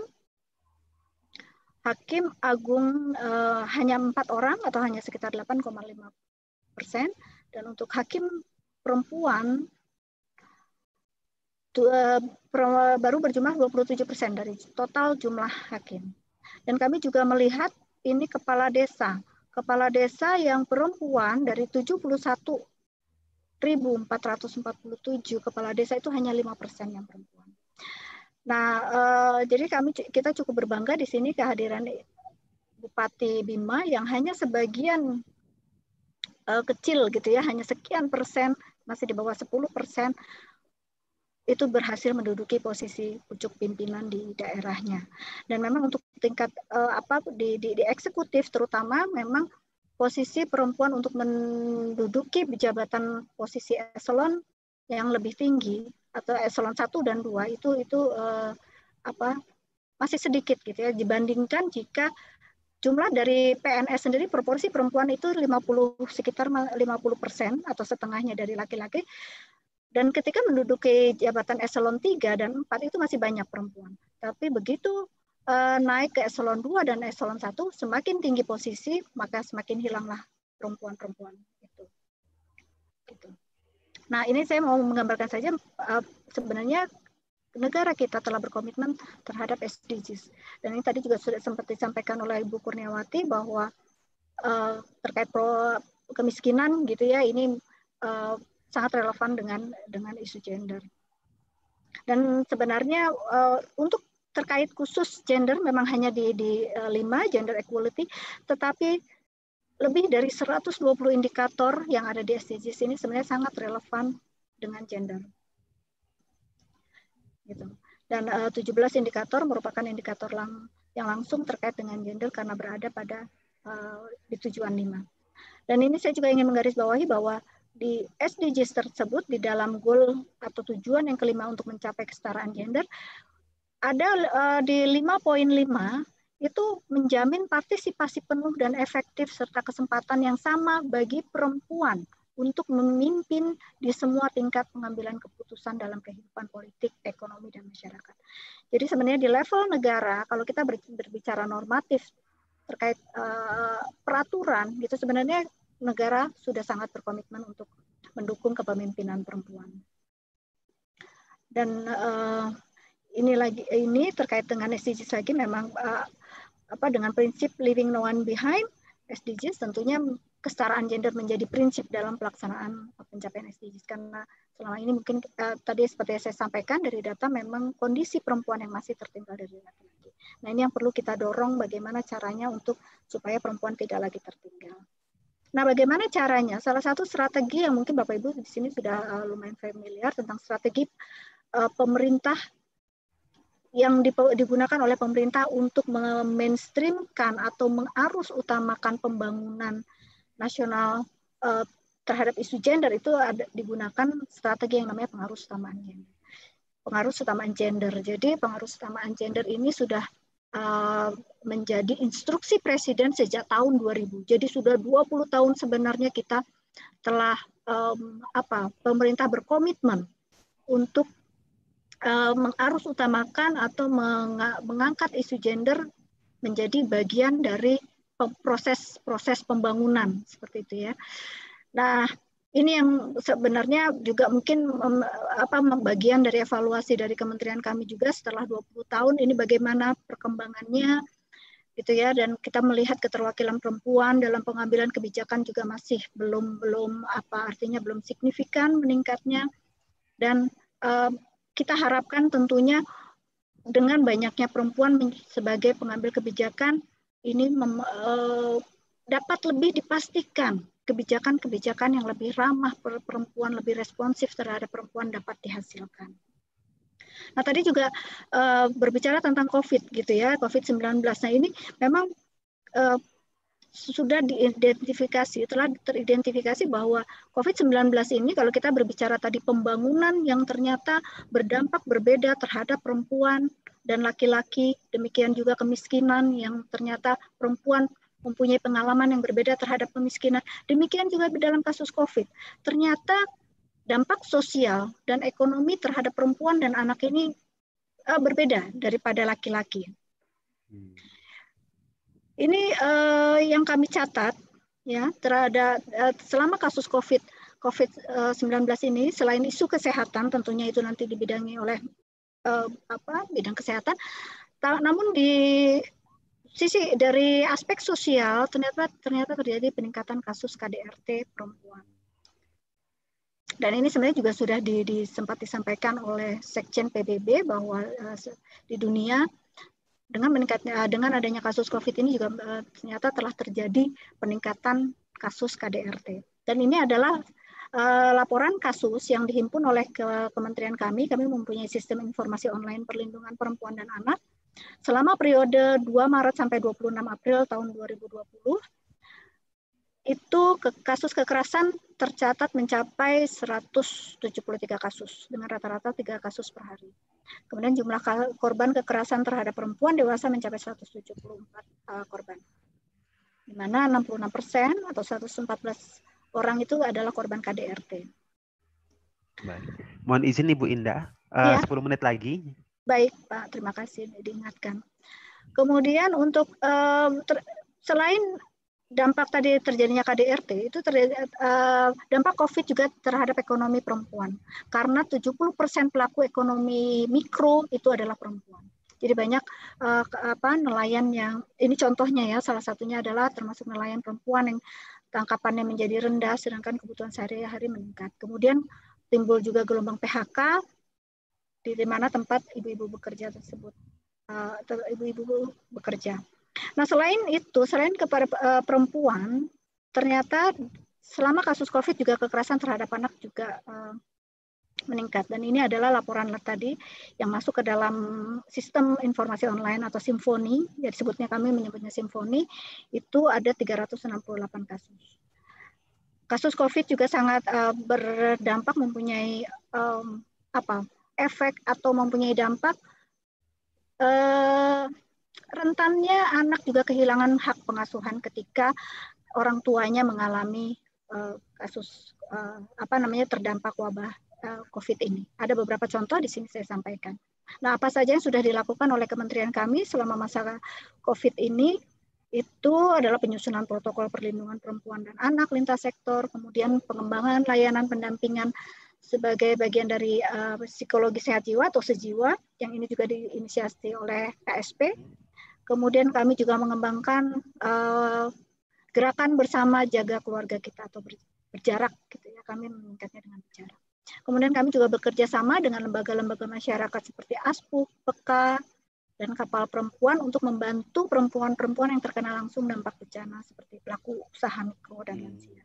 Kami juga menyelenggarakan online training pengembangan usaha kepada perempuan pelaku usaha mikro atau industri rumahan. Tujuannya adalah untuk meningkatkan akses perempuan terhadap dan partisipasi perempuan dalam dan kontrol kendali atas serta manfaat dari sumber daya dan hasil pembangunan di semua bidang secara umum. Nah, selain tadi di bidang ekonomi, kami juga melakukan dan ini masih terus kami melakukan pelatihan kepemimpinan perempuan pedesaan. Jadi Ibu Menteri Bintang eh, Puspa Yoga, Ibu Menteri yang kabinet sekarang eh, menaruh perhatian kepada kepemimpinan perempuan tapi di level perdesaan. Yang sebenarnya sudah kami lakukan beberapa tahun terakhir gitu ya. Dan ini menjadi prioritas nasional untuk meningkatkan kualitas perempuan dalam pengambilan keputusan politik di perdesaan kemudian meningkatkan jumlah keterwakilan perempuan di lembaga musyawarah desa dan kelurahan ini tujuannya jadi perempuan bisa uh, berperan aktif dalam politik perdesaan dan juga tentunya meningkatkan jumlah perempuan yang memiliki minat untuk menjadi pemimpin pedesaan. Nah ini uh, saya hanya ingin menyampaikan itu ya uh, tentang beberapa contoh di dunia internasional yang ternyata kepemimpinan perempuan juga sudah menarik mencuri perhatian dunia. Salah satunya adalah ini saya ambil contoh uh, Ibu Jacinta Jacinda Ardern, perdana menteri uh, New Zealand atau Selandia Baru, yang bahkan disebut the most effective leader on the planet gitu ya. Salah satunya adalah uh, karena kasus COVID ini beliau berhasil menekan kurva peningkatan kasus COVID di negaranya. Dan beberapa juga pemimpin dunia perempuan, yaitu dari Jerman, Islandia, Denmark, Norwegia, Finlandia, itu yang semuanya adalah perempuan ini juga kasus COVID-nya uh, tidak banyak kasus yang uh, apa kematian seperti itu. Nah ini saya hanya ingin uh, apa mungkin melihat lagi bahwa sebenarnya perempuan-perempuan ini perempuan-perempuan pemimpin dia eh, dunia bukan saja mereka berhasil catatan saya adalah mereka bukan hanya berhasil menurunkan atau menekan angka COVID ini, tetapi juga berkontribusi dalam membangun definisi baru tentang kepemimpinan yang saya pikir tidak lagi terikat pada pada sifat-sifat maskulin yang seperti tadi saya disampaikan di awal, seperti kekuasaan, mendominasi, tetapi apa yang ditunjukkan oleh Ibu Jasinda Jasinda dan terutama bagaimana perempuan pemimpin-pemimpin dunia perempuan ini menunjukkan lebih menunjukkan sifat-sifat simpati, empati, dan saling menghormati. Yang saya pikir mungkin ini bisa menjadi definisi baru tentang apa itu pemimpin, tentang kepemimpinan, gitu ya, yang yang uh, mulai di mulai disosialisasikan uh, oleh pemimpin-pemimpin dunia perempuan. Uh, dan uh, ini sih saya hanya sharing aja sebenarnya perempuan-perempuan Indonesia itu uh, apa ya memiliki potensi yang luar biasa. Ini beberapa contoh yang saya sampaikan di sini, mungkin nggak usah nanti tidak akan saya bacakan semuanya. Perempuan peran perempuan dalam melawan wabah COVID ini yang ada di, di ini dari seluruh Indonesia. Jadi ini waktu itu saya rangkum dari pertemuan Ibu Menteri dengan perempuan-perempuan yang terutama NGO yang bergerak di, di, di seluruh Indonesia, ternyata sudah banyak yang dilakukan oleh mereka, seperti pendataan perempuan miskin untuk memastikan bantuan dan pendistribusian barang tepat sasaran. Jadi mereka membantu pemerintah untuk men, apa, mendata pemeri, mendata perempuan miskin yang mungkin sistem pendataan pemerintah tidak terjangkau. Ya, jadi mereka melakukan membantu dalam hal ini kemudian mengedukasi masyarakat dalam situasi wabah Covid, membuat masker kain, mengambil alih pencari nafkah ketika suami di PHK. Ini banyak sekali karena memang uh, perempuan sudah terbukti uh, sangat apa cukup tangguh. Ketika krisis terjadi tahun 98 sektor informal yang bergerak itu banyak di situ perempuan. Gitu ya. Jadi ini saya hanya memberikan contoh bagaimana peran perempuan sebenarnya di, di tingkat masyarakat itu sudah banyak berbuat dan ini semua merupakan sebuah merupakan sebuah potensi yang mungkin bisa menjadi uh, pimpinan. Dan ini saya juga ingin menyampaikan bahwa apa yang telah dilakukan Kementerian Pemberdayaan Perempuan waktu itu kami mempunyai Permen tahun 2015 tentang grand design untuk me meningkatkan uh, keterwakilan perempuan di DPR tahun 2019 ini yang sudah kami lakukan. Jadi kami juga pernah uh, sudah melakukan misalnya pelatihan-pelatihan kepemimpinan perempuan potensial bakal calon kepala daerah tahun 2015, 2017, 2018, kemudian melaksanakan pelatihan kepemimpinan perempuan pedesaan yang tadi sudah saya sebutkan, kemudian kami melakukan penguatan kapasitas caleg pusat dan daerah di 12 provinsi. Dan ini eh, apa yang telah kami lakukan?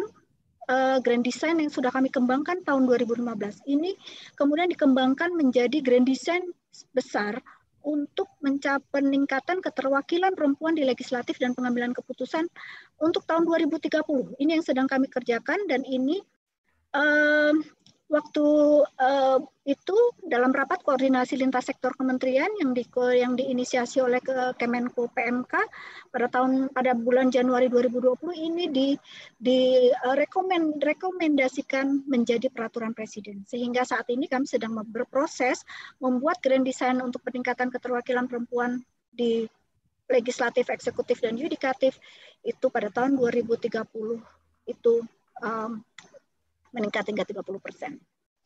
Tentunya ini kami tidak bisa bekerja sendirian dan ini yang kami harapkan dari LIPI ya sebagai uh, apa mungkin pengampu pemerintah pengampu uh, ilmu pengetahuan gitu ya kami memerlukan dukungan dunia ilmu pengetahuan untuk terus mengembangkan dan menciptakan narasi narasi narasi baru tentang kepemimpinan yang sudah sudah tadi saya sampaikan mungkin kita perlu menyandingkan narasi yang selama ini tentang kepemimpinan, tentang dominasi, kekuasaan, ini mungkin disandingkan dengan uh, kita dengan menciptakan narasi-narasi baru melalui uh, penelitian-penelitian gitu ya dan uh, kami harapkan ada rekomendasi-rekomendasi kebijakan untuk perbaikan kebijakan yang mendukung kesetaraan gender dan kepemimpinan perempuan. Saya, saya pikir mungkin sementara itu yang bisa saya sampaikan. Kurang dan lebihnya kami mohon maaf. Wassalamualaikum warahmatullahi wabarakatuh. Waalaikumsalam warahmatullahi wabarakatuh. Terima kasih uh, Ibu Enda atas paparan yang uh, sangat uh, jelas dan komprehensif terkait dengan bagaimana kemudian kebijakan-kebijakan yang sudah dilakukan uh, oleh Kementerian Pemberdayaan Perempuan dan Perlindungan Anak dalam konteks uh, uh, dalam konteks untuk uh, meningkatkan kesetaraan, menghilangkan kesenjangan, yang tentu saja itu di, diharapkan dapat dapat berdampak pada uh, penanggulangan kemiskinan serta tadi juga disampaikan terkait dengan bagaimana kebijakan dari kementerian dalam uh, mengatasi dampak sosial dan ekonomi uh, terhadap perempuan dan anak terutama akibat dari pandemi uh, COVID-19 ini. Tadi beberapa hal penting yang sempat uh, moderator catat adalah memang masih ada kesenjangan yang dapat dilihat dari angka IPM angka indeks pembangunan gender dan angka indeks uh, pemberdayaan gender yang kemudian itu uh, walaupun demikian masih ada tren yang positif yang menggembirakan karena keterwakilan perempuan di DPR RI, di DPD RI maupun di 25 kabupaten kota DPRD itu sudah melebihi 30 persen. Kemudian uh, beberapa kebijakan yang sudah dilaksanakan antara lain dalam konteks untuk mengatasi COVID adalah uh, penyusunan protokol, kemudian uh, layanan pendampingan, bekerja sama dengan lembaga masyarakat dalam konteks untuk uh, pemberdayaan ekonomi, kemudian training untuk uh, perempuan dalam konteks uh, perempuan pelaku industri rumahan, serta uh, dalam hal penanganan kepentingan struktural gender, misalnya melalui pelatihan kepemimpinan perempuan pedesaan dan pelatihan perempu, kepemimpinan perempuan calon kepala daerah dan calon anggota legislatif. Dan tadi juga sudah uh, disinggung bahwa uh, kementerian sudah menyusun grand design peningkatan keterwakilan perempuan di legislatif uh, menuju planet uh, 50-50 tahun 2030 ya Ibu ya. Baik, itu catatan penting dari moderator untuk pembicara kedua. Selanjutnya, kalau kita tadi berbicara dalam konteks kebijakan di tingkat nasional, sekarang kita beralih uh, ke kebijakan dalam konteks uh, lokal di pemerintahan Kabupaten Bima yang akan disampaikan oleh uh, pembicara ketiga kita yaitu Ibu Hajah Indah Damayanti Putri SE. Beliau adalah Bupati Kabupaten Bima, Nusa Tenggara Barat periode tahun 2016-2021. Beliau memenangkan pilkada langsung tahun 2015 uh, dan sebelumnya pernah menjabat sebagai Ketua DPRD Kabupaten Bima tahun 2014 sampai tahun 2016. Uh, baik Ibu Bupati, mohon izin uh, untuk bisa menyampaikan uh, tanggapan terhadap buku yang sudah diterbitkan oleh LIPI serta barang uh, kami mohon juga Ibu untuk bisa membagikan pengalaman perempuan kepala daerah dalam melaksanakan kebijakan berperspektif gender dalam menanggulangi kemiskinan di Kabupaten Bima serta dalam mengatasi dampak-dampak yang diakibatkan oleh pandemi COVID-19 ini, Bu. Kepada Ibu Indah, kami persilahkan.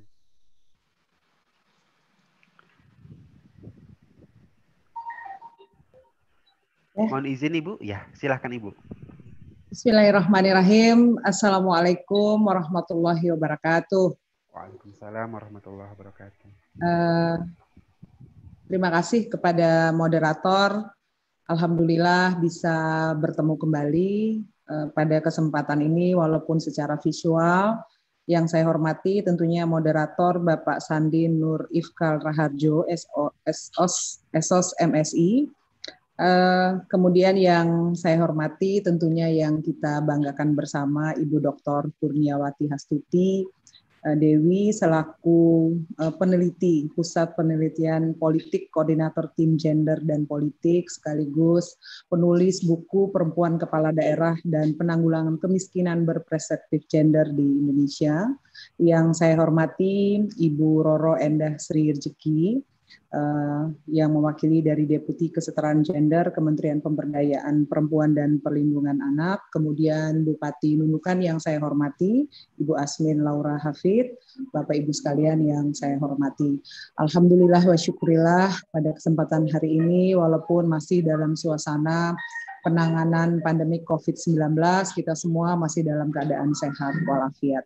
Nah, tentunya ucapan terima kasih dan rasa bangga kami dengan hadirnya buku ini tentunya menambah referensi bagi uh, semua pejabat baik itu kepala daerah maupun di tingkat bawah maupun di tingkat kementerian untuk kita kembali eh, sama-sama belajar bahwa keinginan perempuan untuk tampil menjadi sosok pemimpin adalah keinginan setiap perempuan Indonesia pada khususnya. Tetapi tentunya dengan segala tantangan, kemudian beberapa permasalahan yang dihadapi, mengharapkan kita juga untuk terus berbenah, untuk terus belajar, dan saya yakin buku ini bisa menjadi referensi yang cukup baik bagi siapa pun untuk lebih banyak belajar, untuk kita dapat eh, menaikkan sesuai yang disampaikan oleh Ibu Endah tadi, hari ini hanya 8 persen jumlah pimpinan uh, kepala daerah perempuan uh, dari sejumlah kabupaten kota yang ada di Indonesia. Dan tentunya dengan dipilihnya Bima sebagai pembahasan dalam buku ini, saya juga menyampaikan ucapan terima kasih. Kabupaten Bima adalah salah satu kabupaten di Nusa Tenggara Barat yang dari sisi wilayah berbatasan langsung dengan Nusa Tenggara Timur. Jadi secara tidak langsung kami ini adalah pintu gerbang masuk sebelah timur dari Nusa Tenggara Barat. Bapak Ibu yang saya hormati, eh, Kabupaten Bima, alhamdulillah atas kerja keras eh, kami bersama seluruh jajaran eh, telah mampu meraih Anugerah Parahita Eka Praya dari Kementerian Pemberdayaan Perempuan dan Perlindungan Anak tahun 2018. Tentunya penghargaan ini selain membanggakan, uh, tetapi juga menuntut komitmen kami semua bahwa apa yang menjadi penghargaan ini mampu kami implementasikan, terutama sekali komitmen dan peran serta dalam mewujudkan kesetaraan dan keadilan gender melalui strategi pengarus utamaan gender. Nah, tentunya karena penghargaan ini secara berjenjang, dalam tahap-tahap selanjutnya, tahun-tahun selanjutnya, kami mengharapkan agar uh, ada peningkatan dari penghargaan yang sudah kami dapatkan di tahun 2018 ini. Sekilas mengenai Kabupaten Bima, bahwa penduduk kami sampai dengan hari ini kurang lebih 488 eh, ribu sekian, yang memang walaupun hanya eh, terpaut sekian persen, sampai dengan hari ini jumlah penduduk perempuan lebih tinggi dibanding laki-laki di Kabupaten Bima. Di mana memang jumlah wilayah kami kurang lebih 22 persen dari cakupan wilayah Nusa Tenggara Barat. Kabupaten Bima terdiri dari 18 kecamatan dan 191 desa. Nah, tentunya pada kesempatan ini yang lebih utama kita bedah adalah apa saja yang sudah kita lakukan, terutama sekali dari penurunan angka kemiskinan dari tahun ke tahun tercatat dalam data sampai dengan 2019 ini. Visi misi Kabupaten Bima tahun 2016-2021 yaitu terwujudnya Kabupaten Bima yang ramah ramah adalah religius, aman, makmur, amanah, dan handal. Kemudian eh, satu sisi yaitu di poin tiga, yaitu dalam rangka meningkatkan kemajuan dan kemandirian ekonomi masyarakat. Dalam rangka penanggulangan kemiskinan dan pengangguran didukung tersedianya sarana dan prasarana berbasis tata ruang dan pengelolaan lingkungan hidup. Nah, eh, tentunya Eh, apa pun yang kita laksanakan harus berbasis pada dokumen perencanaan yang kita laksanakan bersama. Dalam RPJMD Kabupaten Bima tahun 2016-2021 eh, tentunya tertera yaitu apa yang menjadi misi, kemudian arah kebijakan, strategi, sasaran dan tujuan. Nah, di sini uh, kami berupaya dari semua eh, OPD kami betul-betul memahami apa yang menjadi kebijakan dalam penurunan angka kemiskinan di daerah kami. Uh, salah satunya adalah penguatan program dan koordinasi penanggulan kemiskinan daerah dan peningkatan mutu SDM. Hari ini tentunya ini menjadi tantangan tersendiri bagi kabupaten kota yang berada di wilayah tengah sampai ke timur, yaitu bagaimana harus diharuskan mampu eh, menunjukkan prestasi yang setara dengan wilayah yang berada di Jawa, tetapi kami dihadapkan juga dengan keterbatasan sumber daya manusia yang kami miliki. Nah, tetapi tentunya dengan beriringnya waktu dan semangat dari generasi yang ada di daerah, kami meyakini eh, walaupun belum mampu sejajar, tetapi kami eh, bisa menunjukkan progres ke arah yang lebih baik. Uh, tentunya hari ini yang menjadi sasaran adalah uh, sulitnya penurunan angka kemiskinan adalah masih tingginya angka pengangguran. Nah, tentunya memberikan rasa aman bagi setiap investasi di daerah kami akan tersedianya lapangan kerja yang mencukupi uh, adalah salah satu uh, sasaran kami uh, di dalam menurunkan angka kemiskinan di daerah kami. Ibu yang saya hormati, eh, dalam beberapa tahun terakhir ini pemerintah Provinsi NTB melakukan MOU dengan sejumlah kabupaten kota yang ada di Nusa Tenggara Barat. Tujuannya adalah masing-masing kabupaten kota memiliki program prioritas yang disinergikan dari sejumlah OPD yang ada karena bila hanya satu dua OPD yang melaksanakan, maka sasaran itu pasti tidak terlihat dan angka persentasinya tidak mencukupi. Nah, oleh karena itu, digagas dari uh, 10 uh, OPD yang ada, yang terdiri dari Bapeda, kemudian pertanian, DKP, DLH, pariwisata, Perkim, Dinsos, kemudian Eh, PUPR dan DP3AP2KB, kami mencoba 13 eh, program prioritas ini betul-betul program yang langsung dirasakan manfaatnya oleh masyarakat, kemudian bersentuhan langsung dengan mereka, sehingga sasaran kepala keluarga yang diharapkan mampu meningkatkan tingkat kesejahteraannya dan menambah income pendapatan keluarganya itu betul-betul bisa dirasakan manfaatnya. Nah, tentunya eh, kenapa perlu program ini bersinergi? Eh, karena tentunya sasaran yang diharapkan itu betul-betul berada pada kelompok eh, keluarga yang betul-betul diharapkan mereka mampu menggeliat dari posisi kemiskinan yang mereka hadapi. Eh, salah satunya adalah BUMDes, mengaktifkan BUMDes yang mungkin masih tergambar di tengah-tengah masyarakat bahwa BUMDes itu hanya mengelola simpan pinjam. Tetapi hari ini kami terus menggelorakan kepada masing-masing desa yang mengelola BUMDes bahwa BUMDes tidak hanya menjual sembako, tetapi hal-hal kecil yang didapatkan oleh masyarakat bisa dijual melalui BUMDes. Untuk itulah melalui kegiatan kawasan pangan Eh, kawasan rumah pangan lestari diharapkan masyarakat dari halaman keluarga bisa menanam kemudian hasilnya tersebut ditampung oleh BUMDes disalurkan lagi kepada masyarakat.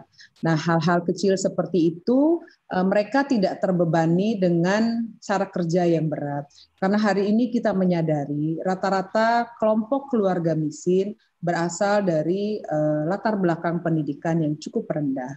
Ketika kita menawarkan program yang sulit mereka jangkau, maka sudah hampir dipastikan program itu tidak akan berjalan dengan baik.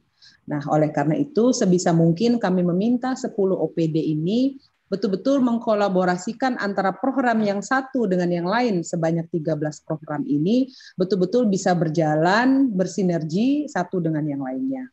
Kemudian hari ini Bapak Ibu adalah ketersediaan jamban keluarga. Perlu kita sadari bersama, ketersediaan air bersih, jamban keluarga adalah salah satu indikator yang menaikkan IPM kita. Kami menyadari walaupun sebagian besar kecamatan kami sudah melaksanakan deklarasi ODF, tetapi masih ada juga beberapa sasaran kami, beberapa dusun yang masih belum mencukupi tersedianya air bersih dan jamban keluarga. Nah, di sini tentunya melalui beberapa fasilitator kami, kami mengajarkan kepada masyarakat bagaimana membuat membuat jamban eh, dengan eh, mengeluarkan dana yang sedikit sehingga mereka tidak berpikir bahwa memiliki jamban sehat untuk satu keluarga itu membutuhkan uang yang besar. Karena hari ini mereka pun rata-rata masih menempati rumah yang tidak layak huni. Nah, tetapi kami mendorong pemberdayaan di desa melalui fasilitator kami agar program itu saling bersinergi satu dengan yang lainnya. Eh, begitu juga dengan keberadaan bank sampah hari ini masyarakat kami khususnya di Bima masih merasa ketika mereka kita ajarkan untuk mengelola beberapa sampah yaitu seperti sampah plastik kemudian diuang kembali eh, mereka masih menganggap itu salah satu pekerjaan yang mungkin bagi mereka walaupun mereka miskin tetapi mereka enggan untuk melakukan. Nah, oleh karena itu, pendampingan secara terus-menerus oleh beberapa uh, fasilitator, termasuk di antaranya pendamping PKH, pendamping beberapa program kementerian yang kami dapatkan, kami selipkan. Karena hari ini masalah sampah menjadi salah satu momok walaupun di daerah masih tersedia lahan-lahan yang cukup luas untuk pemanfaatan atau pengolahan sampah tersebut, tetapi tidak sedikit hari ini masih kami jumpai desa-desa kami yang belum memiliki tempat pembuangan sampah sementara. Nah, sedangkan setiap hari eh, masyarakat menghasilkan sampah yang tidak sedikit dan tentunya ini akan menjadi bom waktu atau permasalahan besar yang akan kita hadapi pada masa-masa selanjutnya. Kemudian kami juga melalui program sinergi dengan dinas sosial eh, juga eh, berupaya memfasilitasi beberapa kelompok perempuan khususnya adalah melalui kelompok usaha bersama. Hari ini di masing-masing kecamatan kami memiliki beberapa potensi mulai dari pengrajin, kemudian penenun, dan juga ada beberapa usaha rumahan yang berkaitan dengan pembuatan kue atau jajan-jajan daerah. Nah, tentunya ini bersinergi dengan BUMDes yang tadi kami sampaikan. Karena ketika mereka kita ajak untuk memproduksi dalam jumlah banyak, lantas juga mereka tidak mendapatkan pangsa pasar yang baik, maka itu menjadi salah satu tantangan tersendiri dan permasalahan yang akan dihadapi oleh masyarakat kami. Kemudian Bapak Ibu yang saya hormati, eh, masyarakat kami eh, terdiri dari beberapa kelompok. Ada yang petani, ada yang nelayan, dan juga ada yang peternak. Nah, tentunya bagi petani kami hari ini mereka hampir tidak mendapatkan permasalahan karena masing-masing kecamatan rata-rata memiliki ketersediaan lahan yang cukup. Tetapi tentunya sebagai daerah yang merupakan uh, sebagai penyangga pangan, terutama sekali uh, terkait ketersediaan beras, kami mengajarkan melalui pendampingan uh, penyuluh-penyuluh kami bahwa bagaimana mereka menata pola tanam mereka sesuai dengan kekhasan di masing-masing daerah, yaitu berapa kali mereka menanam padi, bawang, dan jagung. Kemudian juga eh, terkait dengan nelayan, eh, alhamdulillah masyarakat kami juga terbiasa dengan budidaya eh, udang yang pada musim-musim panas mereka melalui tambak-tambak yang mereka miliki mereka juga uh, melakukan budidaya garam. Nah, hal-hal seperti ini yang tentunya saling sinergi antara program yang satu dengan yang lainnya, yang pada hari ini 13 program ini belum mampu menyentuh di 191 desa yang ada. Untuk tahap awal ini dan terkontrol oleh masing-masing OPD, kami uh, menghususkan program yang bersinergi Eh, dengan 13 program ini di 77 desa sasaran. Nah, kenapa? Kami ingin masing-masing OPD eh, memiliki catatan sejauh mana kemajuan dari berbagai program ini, penerimaan masyarakat, kemudian sejauh mana perbedaan atau manfaat yang didapatkan oleh masyarakat ketika program ini kami jalankan. Selanjutnya juga terkait dengan penanganan COVID di Kabupaten Bima, Alhamdulillah seperti juga kabupaten kota yang lain, kami mendapatkan eh, BST dari pemerintah pusat, eh, kemudian dari provinsi kami mendapatkan JPS NTB Gemilang, kemudian pemerintah kabupaten menggelontorkan JPS Bima Ramah, eh, dan pemerintah desa juga menganggarkan sesuai aturan yang diterima sesuai dengan ADD yang mereka terima berapa persen itu dialokasikan melalui BLT dan semua sudah menyelesaikan pada tahap kedua. Bapak Ibu yang saya hormati, walaupun dalam peraturan terbaru pemerintah pusat memperbolehkan apabila terjadi double nama, tetapi e, secara internal di wilayah kami, kami memang meminta kepada pemerintah desa, kemudian camat kami untuk mengawasi betul tidak terjadinya double penerimaan. Karena hari ini Bapak Ibu yang kita hadapi adalah bukan uh, penyampaian dari masyarakat penerima manfaat. Tetapi yang menjadi permasalahan yang dihadapi oleh pemerintah daerah adalah reaksi bagi mereka yang juga merasa berhak tetapi tidak mendapatkan bantuan tersebut. Itulah kenapa penerima PKH, kemudian bantuan pangan non-tunai, Eh, tidak kami harapkan juga mendapatkan eh, bantuan sosial penanganan COVID baik dari provinsi, kabupaten maupun desa.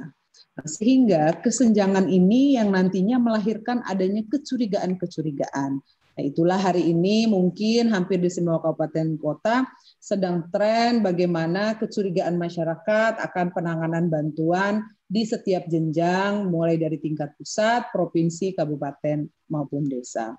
Uh, di sini juga dalam rangka menanggulangi kemiskinan, kami mendorong uh, penerima manfaat yang ada untuk mampu mendeklarasikan diri ketika mereka merasa sudah cukup dan mapan, seperti contoh penerima PKH, ketika anak-anak mereka sudah selesai bersekolah, dari hasil PKH dia bisa membangun usaha mandiri untuk kehidupan rumah tangganya, dia harus siap mendeklarasikan diri sehingga di masyarakat itu akan terpola menjadi kebiasaan baik. Nah, sehingga kita harapkan dengan semakin tingginya jumlah penerima bantuan sosial ini, maka akan semakin sulit kita menurunkan angka kemiskinan di tingkat daerah. Kemudian pada kesempatan ini juga ada beberapa uh, inovasi yang dikolaborasikan terkait penanganan COVID-19. Uh, Alhamdulillah kami melalui aplikasi Simawar yang masuk dengan uh, inovasi 45 pada tahun 2000 uh, top 45 pada tahun 2019. Uh, selain Simawar ini uh, untuk memberikan kesempatan akan kekerasan terhadap anak dan perempuan untuk dilaporkan, kemudian adanya kemudahan bagi uh, masyarakat kita yang berkebutuhan khusus, kemudian juga untuk mengembangkan beberapa usaha Eh, mikro yang dimiliki oleh perempuan. Di sini juga aplikasi Mawar menambah lagi adanya self check up untuk COVID-19. Nah, kemudian eh, di daerah kami juga tersedia aplikasi Madabima. Nah, di sini Bapak Ibu semua data, terlebih khusus yang berkaitan dengan bantuan sosial, akan bisa terpantau dengan baik. Akan bisa diketahui kira-kira desa mana saja yang jumlah penerimanya sejajar antara perempuan dan laki-laki. Kemudian dipastikan beberapa masyarakat dalam kebutuhan khusus betul-betul mendapatkan kemudahan dari sisi pelayanan melalui OPD yang kami miliki.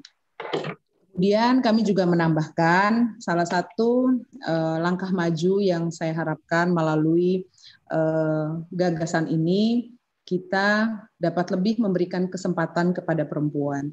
Tidak hanya melalui perempuan-perempuan yang sudah memiliki kesempatan dan ruang untuk menyampaikan hal tersebut, tetapi kita harapkan juga pada tahun 2020 ini Pemkap Bima eh, sudah mulai melaksanakan musrenbang khusus yang melibatkan perempuan, anak, warga berkebutuhan khusus, dan lansia. Mulai dari tingkat desa, kita harapkan hal ini bisa tersalurkan apa yang menjadi harapan dan keinginan mereka sehingga betul-betul hasil musrenbang yang tertata mulai dari tingkat bawah itu sampai ke atas mewakili setiap unsur yang ada lebih khusus perempuan dan anak. Kemudian yang menjadi permasalahan hari ini tidak hanya terkait masalah kemiskinan, eh, terkait dengan COVID-19 ini juga yang perlu dipikirkan adalah bagaimana kita sebagai orang tua khususnya eh, mengembalikan psikologi anak kita terkait dengan mereka sudah diliburkan sekian lama ini eh, mereka yang biasanya aktif bersosialisasi dengan teman, kemudian aktif dalam kegiatan sekolah, hari ini eh, bagi masyarakat di kota besar tentunya sistem online mempermudah komunikasi antara pengajar dengan anak didik dan orang tuanya. Tetapi bagi kami yang masih terbatas untuk sistem online yang ada, terutama di wilayah-wilayah pedesaan, tentunya ini menjadi permasalahan yang memang membutuhkan kearifan kita bersama. Hari ini luar biasa pemerintah pusat eh, memberikan dukungan agar masyarakat kita dengan dibatasi mereka untuk bersosialisasi, bergerak, mereka betul-betul uh, dibantu dari sisi uh, bantuan sosial yang ada.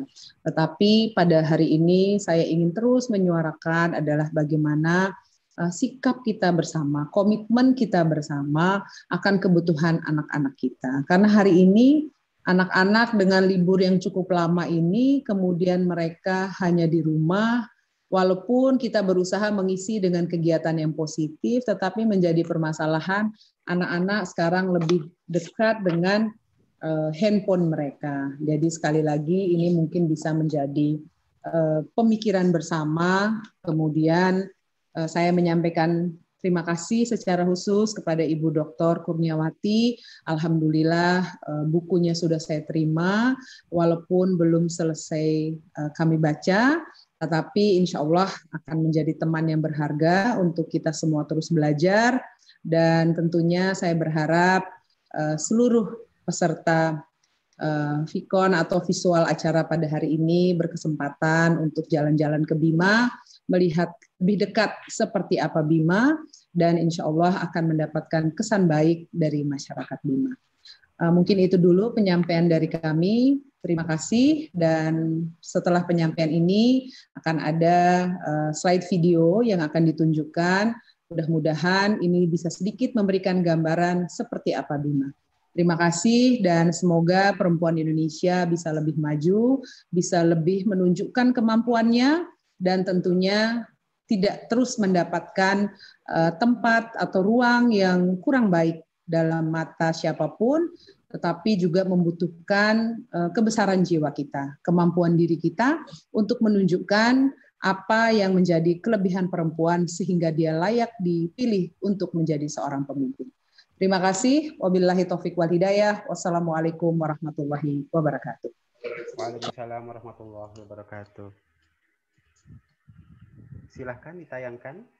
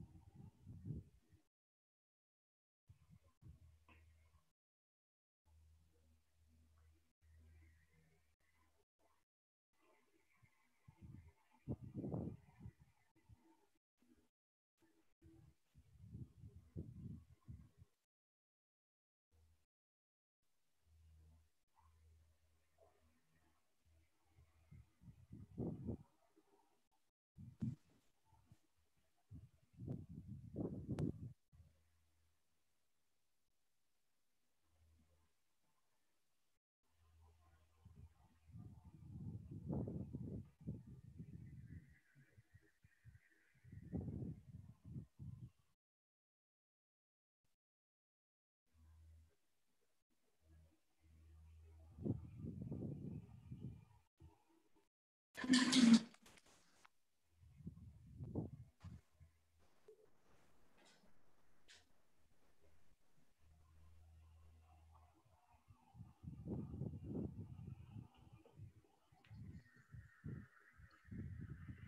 mohon maaf ada sedikit gangguan teknis uh, terkait dengan videonya. Boleh ditampilkan ulang?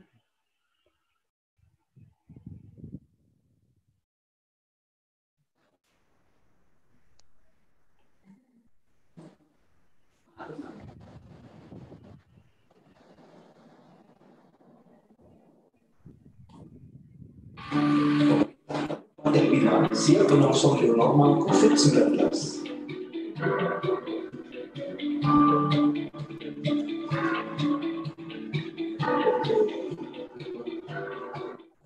Kita berkata, di objek wisata Taman Bagan siap menyongsong penerapan new normal. Gugus tugas terdiri dari... Ala elo sapa kepala. Poster, leaflet, stiker, para pedagang pedagang sudah mulai melakukan kebiasaan baru yang ramah COVID-19 dan membersihkan tempat makan, membersihkan peralatan menggunakan sarung tangan, memakai penutup wajah, membuat batas jaga jarak, dan menyediakan peralatan. Setiap pengunjung yang datang akan dilakukan pengukuran suhu, menyediakan tempat cuci tangan dan sabun, dan diwajibkan menggunakan masker.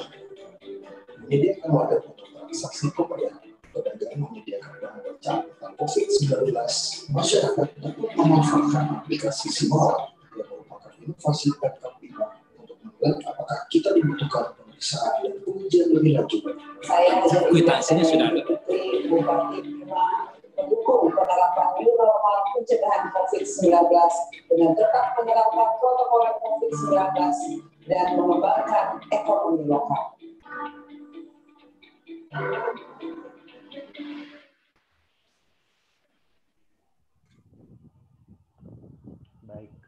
Sudah? Baik. Terima kasih Ibu Bupati Bima atas uh, paparan uh, yang sangat menarik terkait dengan inisiasi-inisiasi program-program dan kebijakan-kebijakan yang sudah dilakukan oleh pemerintah Kabupaten Bima di bawah kepemimpinan Ibu Indah tentunya uh, terkait dengan penanggulangan kemiskinan dan penanganan uh, pandemi COVID-19. Beberapa hal penting yang sempat saya catat Ibu terkait dengan uh, program penanggulangan kemiskinan. Tadi Ibu menyebutkan ada 13 program prioritas ya Ibu ya yang melibatkan 10 OPD dan uh, tidak menyasar ke semua uh, desa yang ada di Bima tetapi fokus pada 77 desa sehingga akan ada indikator keberhasilan yang lebih uh, nyata dan lebih terukur seperti itu.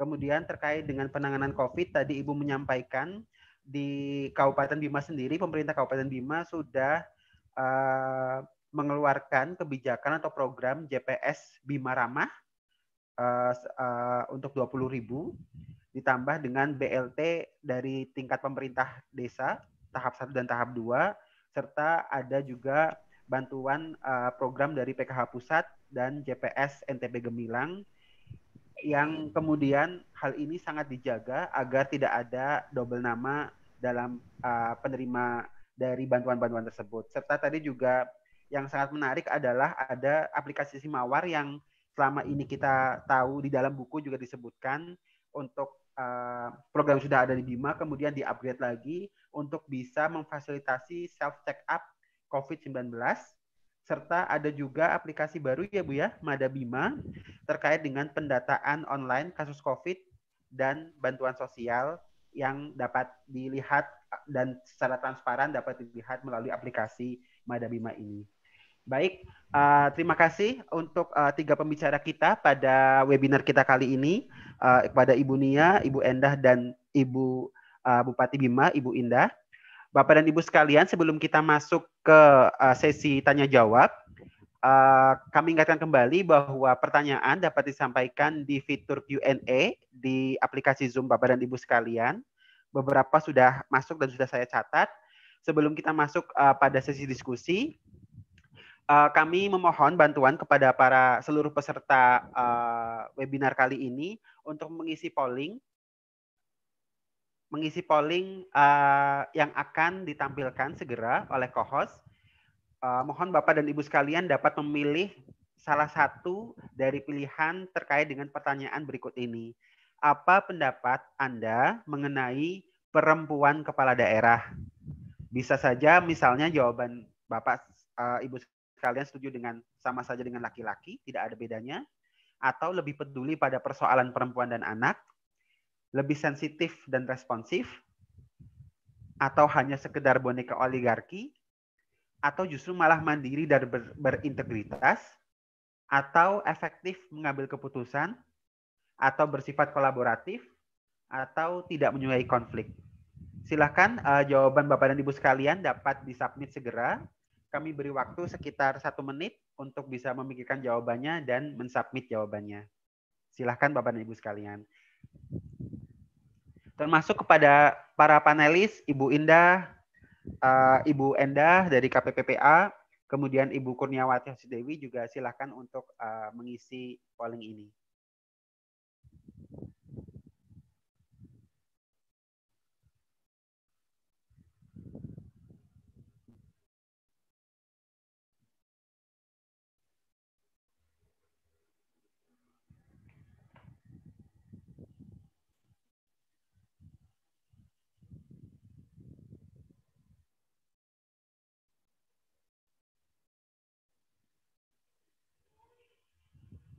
Ya, untuk sembari mengisi uh, polling uh, yang ditampilkan di layar Zoom, uh, untuk Q&A, untuk sesi tanya jawab, kami beri, uh, kami kita punya waktu sekitar 30 menit.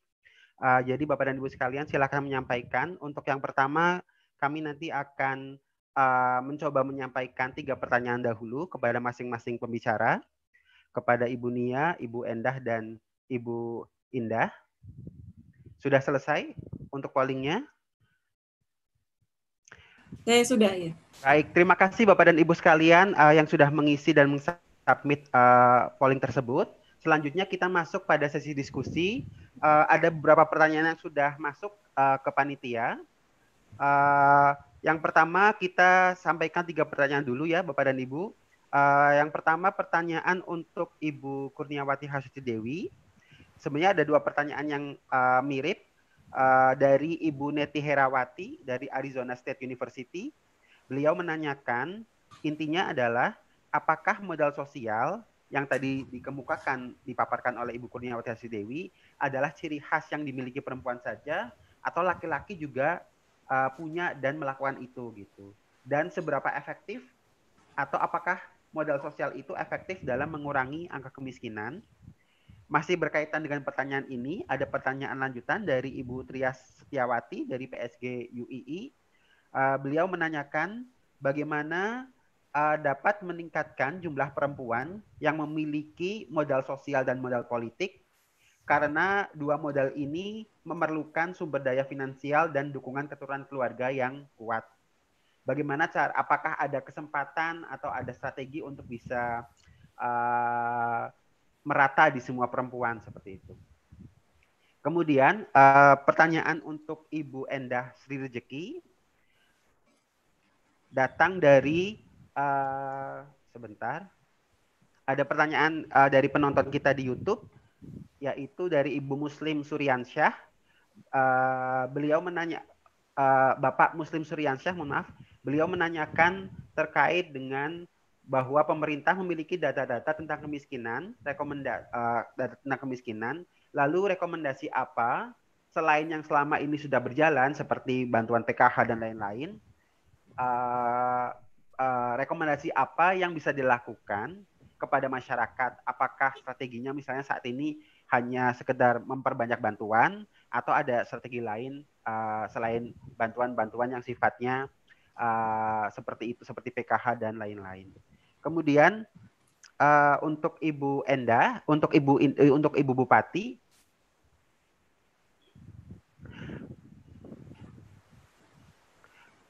Sebentar Ibu, mohon maaf. Oke. Okay.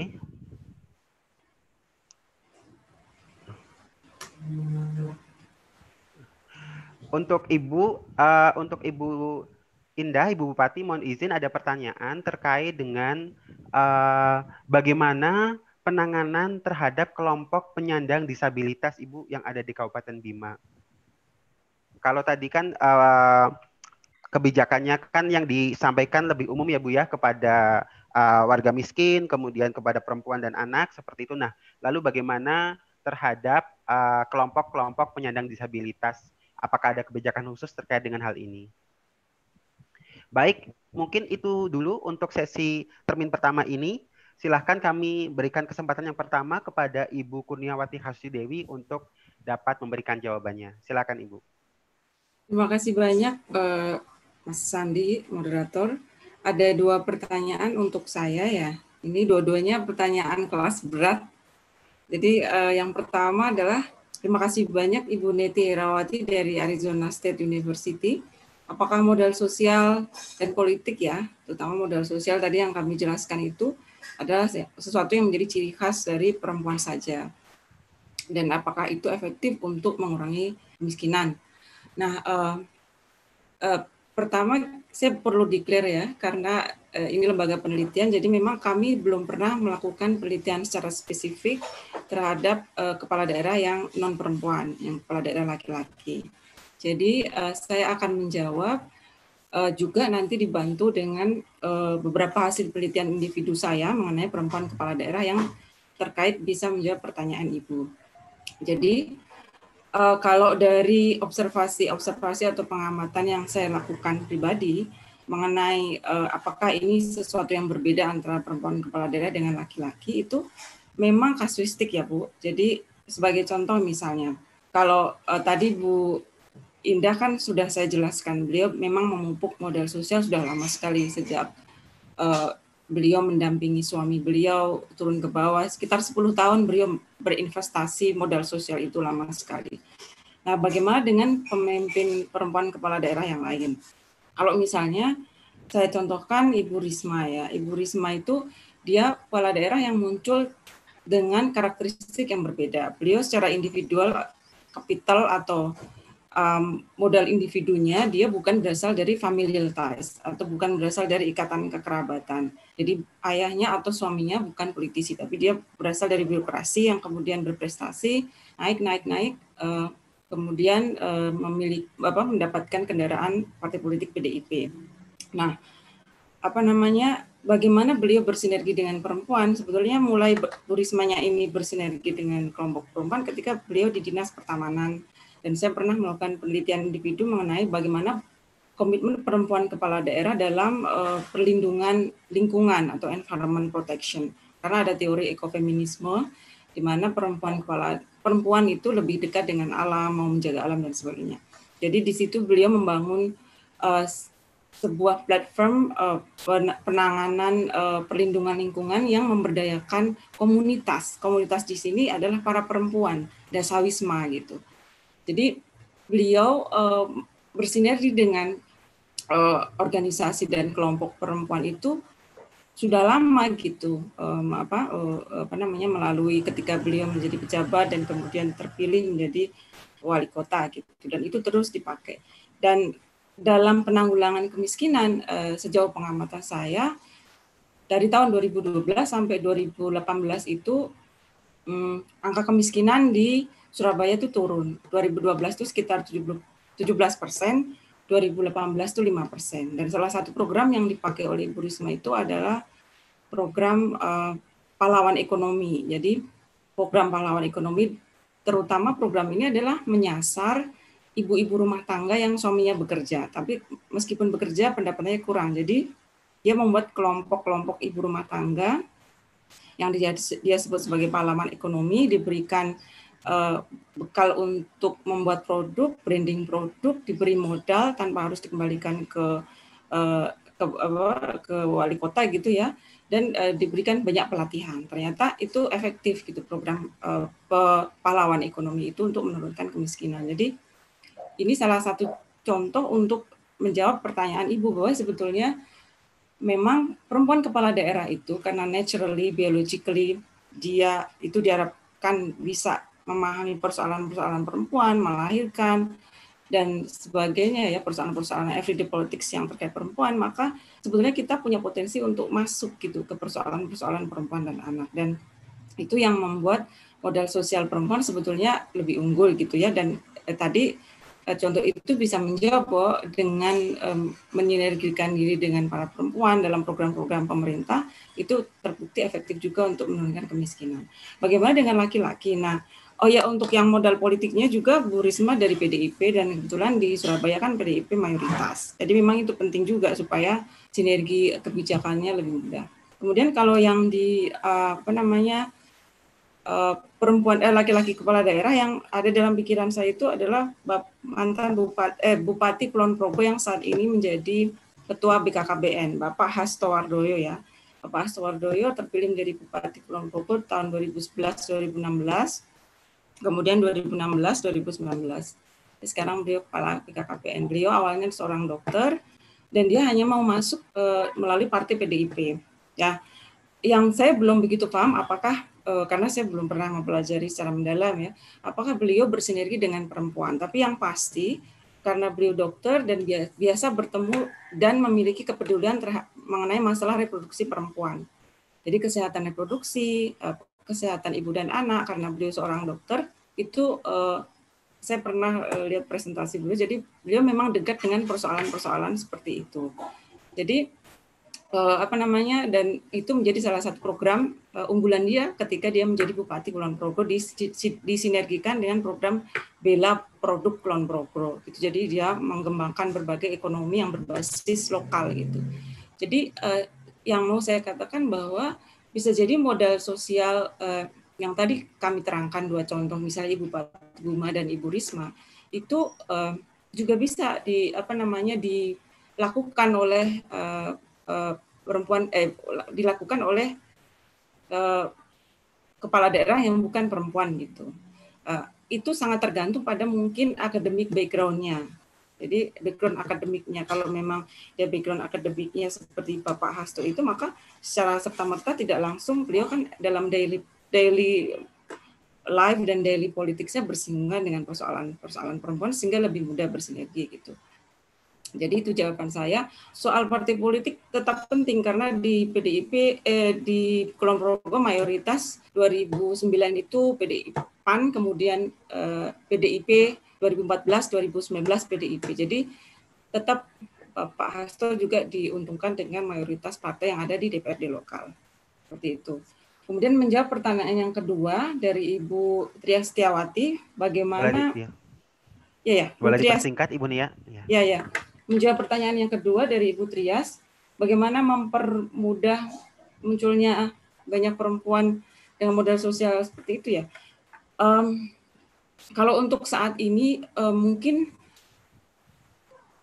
sebetulnya kan modal sosial itu adalah kemampuan seorang perempuan itu untuk mengkapitalisasi modal individu yang dia punya. Modal individu saya kategorikan menjadi tiga. Misalnya familial ties yang kekerabatan itu itu itu sebuah modal individu. Kemudian misalnya seorang perempuan yang punya ekonomi gitu, dia punya bisnis, kemudian mungkin dia punya prestasi tadi contohnya Bu Risma, kemudian dia kader partai. Nah, empat kategori modal individu itu bisa beragam, bisa salah satu punya atau bisa dua punya gitu. Nah, tergantung eh, kemampuan perempuan itu untuk mengkapitalisasi itu dan masuk ke jaringan-jaringan perempuan. Kalau misalnya dia pebisnis, dia bisa masuk ke jaringan perempuan gitu. Kalau dia memang kader partai, dia juga dari awal harusnya bersinergi dengan eh, organisasi perempuan yang ada di lokasi di mana adalah daerah pemilihannya misalnya gitu. Jadi untuk saat ini memang eh, yang saya tahu misalnya kayak Kementerian Pemberdayaan Perempuan melakukan pelatihan-pelatihan ya. Tadi sudah diterangkan oleh Ibu Endah juga untuk peningkatan kapasitas politik kapasitas politisi perempuan untuk maju dalam pilkada misalnya. Tapi memang eh, harus ada sebuah desain institusional menurut saya yang mengangkat perempuan-perempuan non familiar ties.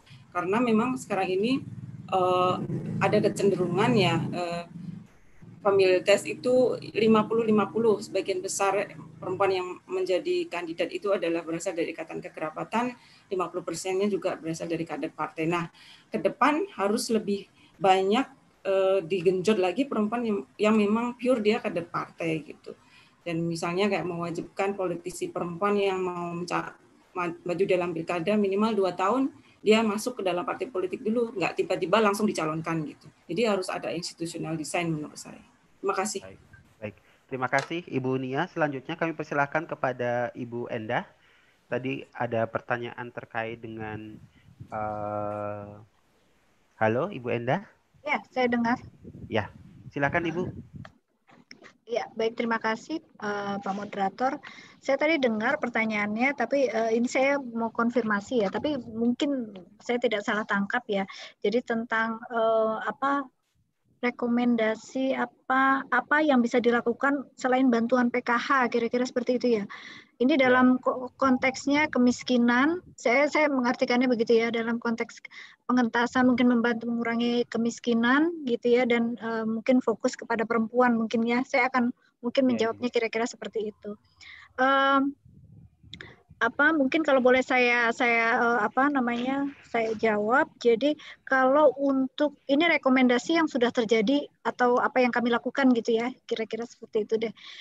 Em, kalau yang dilakukan oleh kementerian kami Kementerian Pemberdayaan Perempuan dan Perlindungan Anak terkait permasalahan em, apa kemiskinan kami em, fokus kepada pemberdayaan jadi lebih kepada bukan bantuan-bantuan secara uh, atau uh, secara cash atau apa ya atau semacamnya tetapi lebih kepada pemberdayaan. Artinya pemberdayaan kepada perempuan-perempuan yang ada di apalagi sekarang fokusnya Ibu Menteri adalah pemberdayaan perempuan yang ada di perdesaan.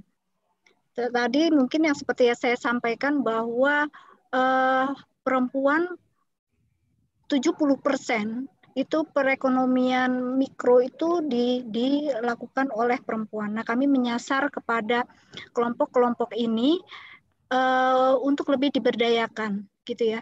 Ekonomi mikro ini uh, apa berbeda dengan kecil ya. Jadi ini yang hanya dibantu oleh mungkin dua orang atau tiga orang ya yang memang benar-benar ada di uh, industri di, di rumahan lah seperti itu. Jadi kami fokus uh, membantu wirausaha perempuan yang berada di sektor ekonomi mikro seperti itu untuk membantu. Uh, jadi yang kami lakukan sebenarnya banyak melakukan pengembangan model-model. Kenapa model? Karena memang kami di tingkat pusat itu tidak bisa melakukan langsung ke kabupaten atau kota gitu ya karena kami levelnya adalah uh, di uh, hanya sampai di provinsi namun kami mengembangkan model-model supaya nanti yang akan uh, menindaklanjuti adalah pemerintah yang ada di kabupaten kota seperti itu. Jadi yang kami lakukan adalah pengembangan model-model industri rumahan untuk membantu perempuan yang berada di uh, yang membantu untuk membantu perempuan yang mempunyai industri uh, atau usaha wirausaha yang ada di rumah-rumah uh, seperti itu ya supaya lebih lebih uh, apa lebih uh, berhasil lah gitu ya uh, secara ekonomi dan kemudian juga selain secara ekonomi kami juga membantu mereka dengan memberikan pelatihan-pelatihan yang ada di uh, apa level perdesaan gitu ya untuk membantu mereka lebih apa percaya diri gitu loh. Itu dengan uh, membuat mengembangkan namanya sekolah uh, perempuan gitu ya. Jadi bukan bukan berarti sekolah seperti anak sekolahan sekolah perempuan tidak, tetapi adalah kelompok-kelompok yang ada di masyarakat yang akan membantu perempuan-perempuan uh, yang ada di perdesaan untuk lebih um, apa percaya diri, lebih bisa mem, apa hanya untuk yang uh, pekerja bukan pekerjaan tetapi hal-hal yang sehari-hari lah gitu ya yang dihadapi oleh uh, apa perempuan-perempuan seperti dalam rumah tangga kemudian dalam berinteraksi sosial seperti itu dan yang terakhir dan uh, kami juga selain itu yang tadi tadi sudah saya sampaikan adalah melakukan juga pelatihan-pelatihan uh, kepemimpinan perempuan yang ada di perdesaan. Jadi lebih kepada pemberdayaan perempuannya mungkin seperti itu ya. Jadi bukan se seperti bantuan PKH yang dilakukan di uh, apa Kementerian Sosial seperti itu tapi lebih kepada pemberdayaan um, perempuan seperti itu. Mudah-mudahan menjawab ya. Baik. Baik, terima kasih Ibu Enda. Selanjutnya kami persilakan kepada Ibu Pati Bima. Mohon izin Bu, ada pertanyaan yang sebenarnya mirip. Uh, selain kepada penyandang disabilitas, Bu, ada juga uh, pertanyaan terkait dengan bagaimana uh, penanganan terhadap lansia, Ibu. Jadi penyandang disabilitas dan lansia, kelompok lansia. Silakan Ibu Indah. Baik, terima kasih banyak moderator uh, atas pertanyaan yang ditujukan kepada kami.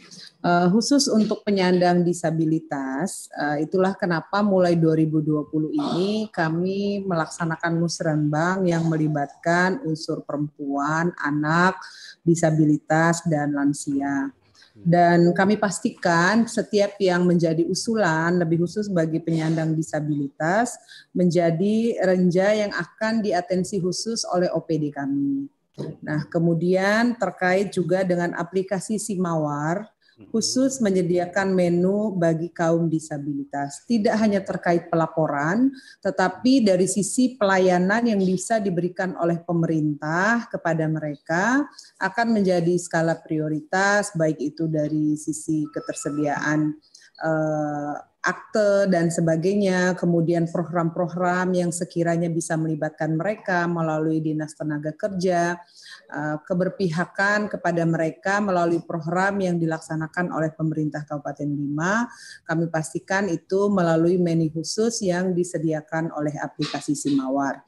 Kemudian bagi lansia, eh, program secara nasional, kami melalui Dikes kami rutin melaksanakan posyandu lansia. Hmm. Nah tentunya melalui program lansia ini, kami juga melalui kader-kader kami yaitu yang tersebar seperti kader posyandu dan sebagainya itu, kami memastikan yang pertama mereka tidak hidup sendiri, tetapi ada pendamping bagi yang masih memiliki keluarga. Sehingga uh, dari sisi pelayanan kesehatan, ketersediaan kebutuhan hidup bagi lansia-lansia yang memang uh, masih hidup di bawah garis kemiskinan bisa terpantau oleh uh, pemerintah desa sampai ke tingkat RT dan RW.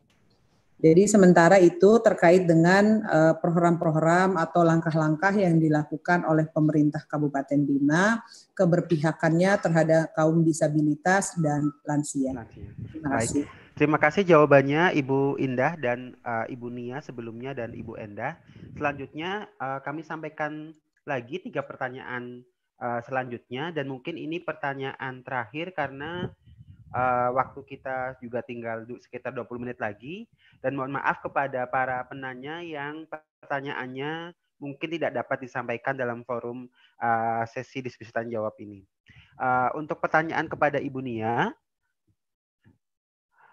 ada pertanyaan dari Dora dari Pusat Studi Gender dan Birokrasi Poltek Setia Lan Jakarta. Uh, apakah variabel tingkat keberhasilan penanggulangan kemiskinan melalui program-program pemerintah pada era kepala daerah sebelumnya yang bukan perempuan juga diperhitungkan pada penelitian ini sehingga dapat diambil komparasinya. Jelas ya Ibu Nia. Kemudian uh, pertanyaan kepada Ibu Endah dari Kementerian Pemberdayaan Perempuan dan Perlindungan Anak, uh, sejauh mana pelatihan-pelatihan kepemimpinan untuk calon anggota legislatif dan kepala daerah perempuan berhasil efektif yang tentunya bukan hanya soal jumlah, tapi juga soal kemampuan kepemimpinan perempuan, baik legislator maupun kepala daerah, terutama peran mereka sebagai pengambil keputusan dalam menghapus kesenjangan peran dan kesempatan antara laki-laki dan perempuan. Kemudian pertanyaan untuk Ibu Indah. Uh, sebentar Ibu. Mohon izin Ibu, uh, ada pertanyaan dari Ibu Trias Setiawati dari PSG UII uh, mohon dijelaskan kendala-kendala psikologis keluarga, masyarakat, dan faktor pendukung yang Ibu hadapi ketika Ibu menjalankan tugas sebagai perempuan kepala daerah Ibu. Kendala-kendala psikologis, kendala keluarga, dan kendala dari sisi masyarakat dan faktor pendukung yang Ibu hadapi ketika menjalankan tugas sebagai kepala daerah perempuan.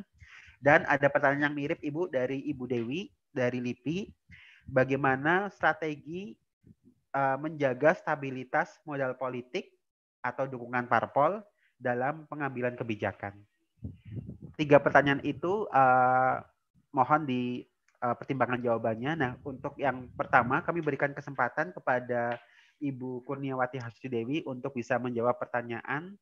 Uh, silakan Ibu Nia.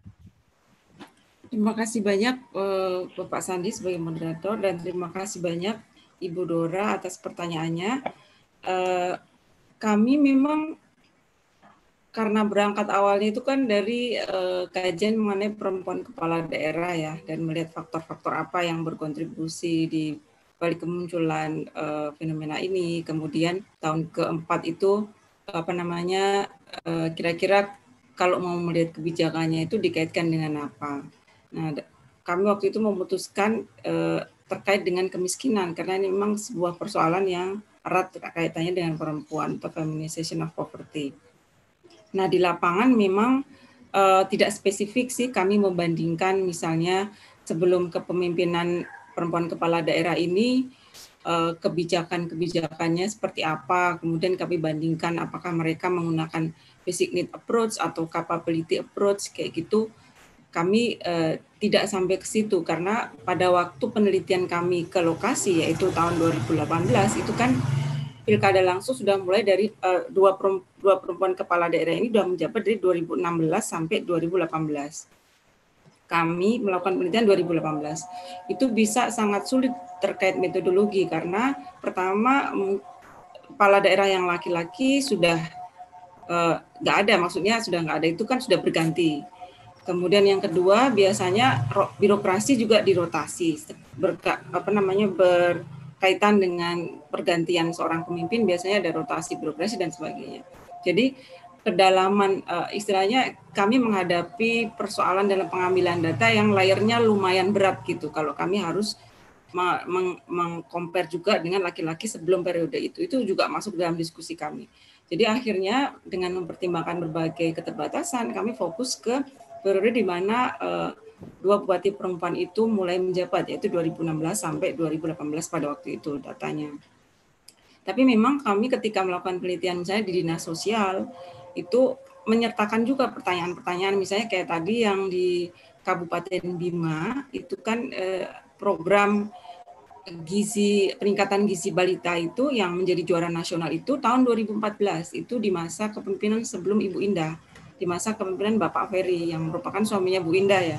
Nah, itu kemudian pada waktu kami penelitian tahun 2018 itu menurut eh, keterangan dari Dinas Sosial juga mengalami, mengalami perbaikan terus gitu. Program itu masih terus berjalan di Posyandu Posyandu jumlah detailnya ada di dalam presentasi saya saya lupa ya tadi ada berapa posyandu itu ya yang eh, kemudian dia kembangkan lagi. Jadi Eh, kami lakukan eh, ketika kami melakukan wawancara mendalam dengan UPD-UPD yang memang terkait gitu. Jadi sebisa mungkin kami melakukan itu, tapi tidak secara khusus.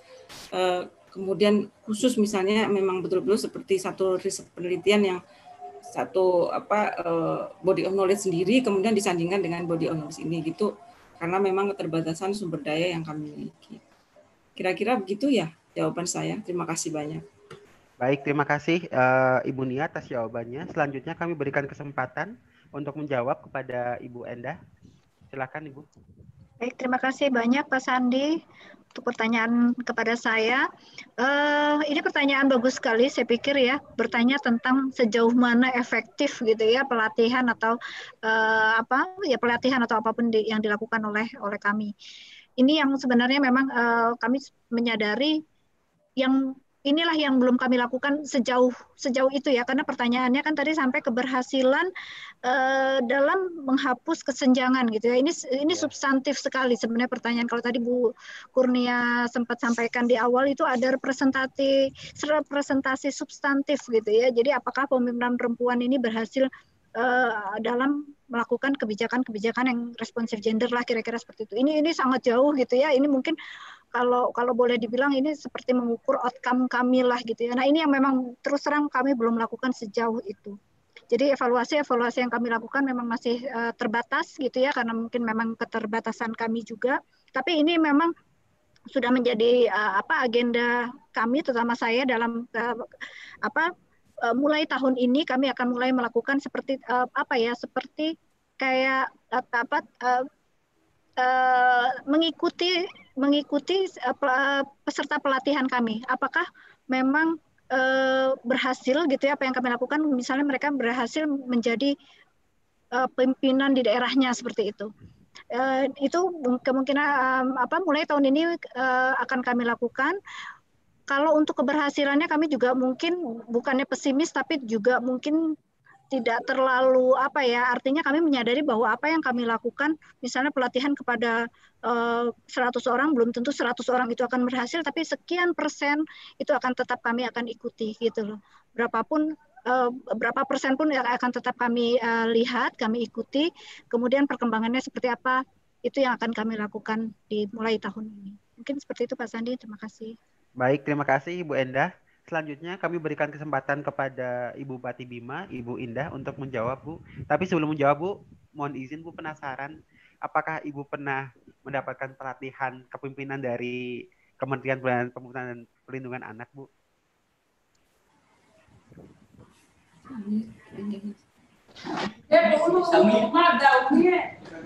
Silakan Ibu. Baik, terima kasih moderator.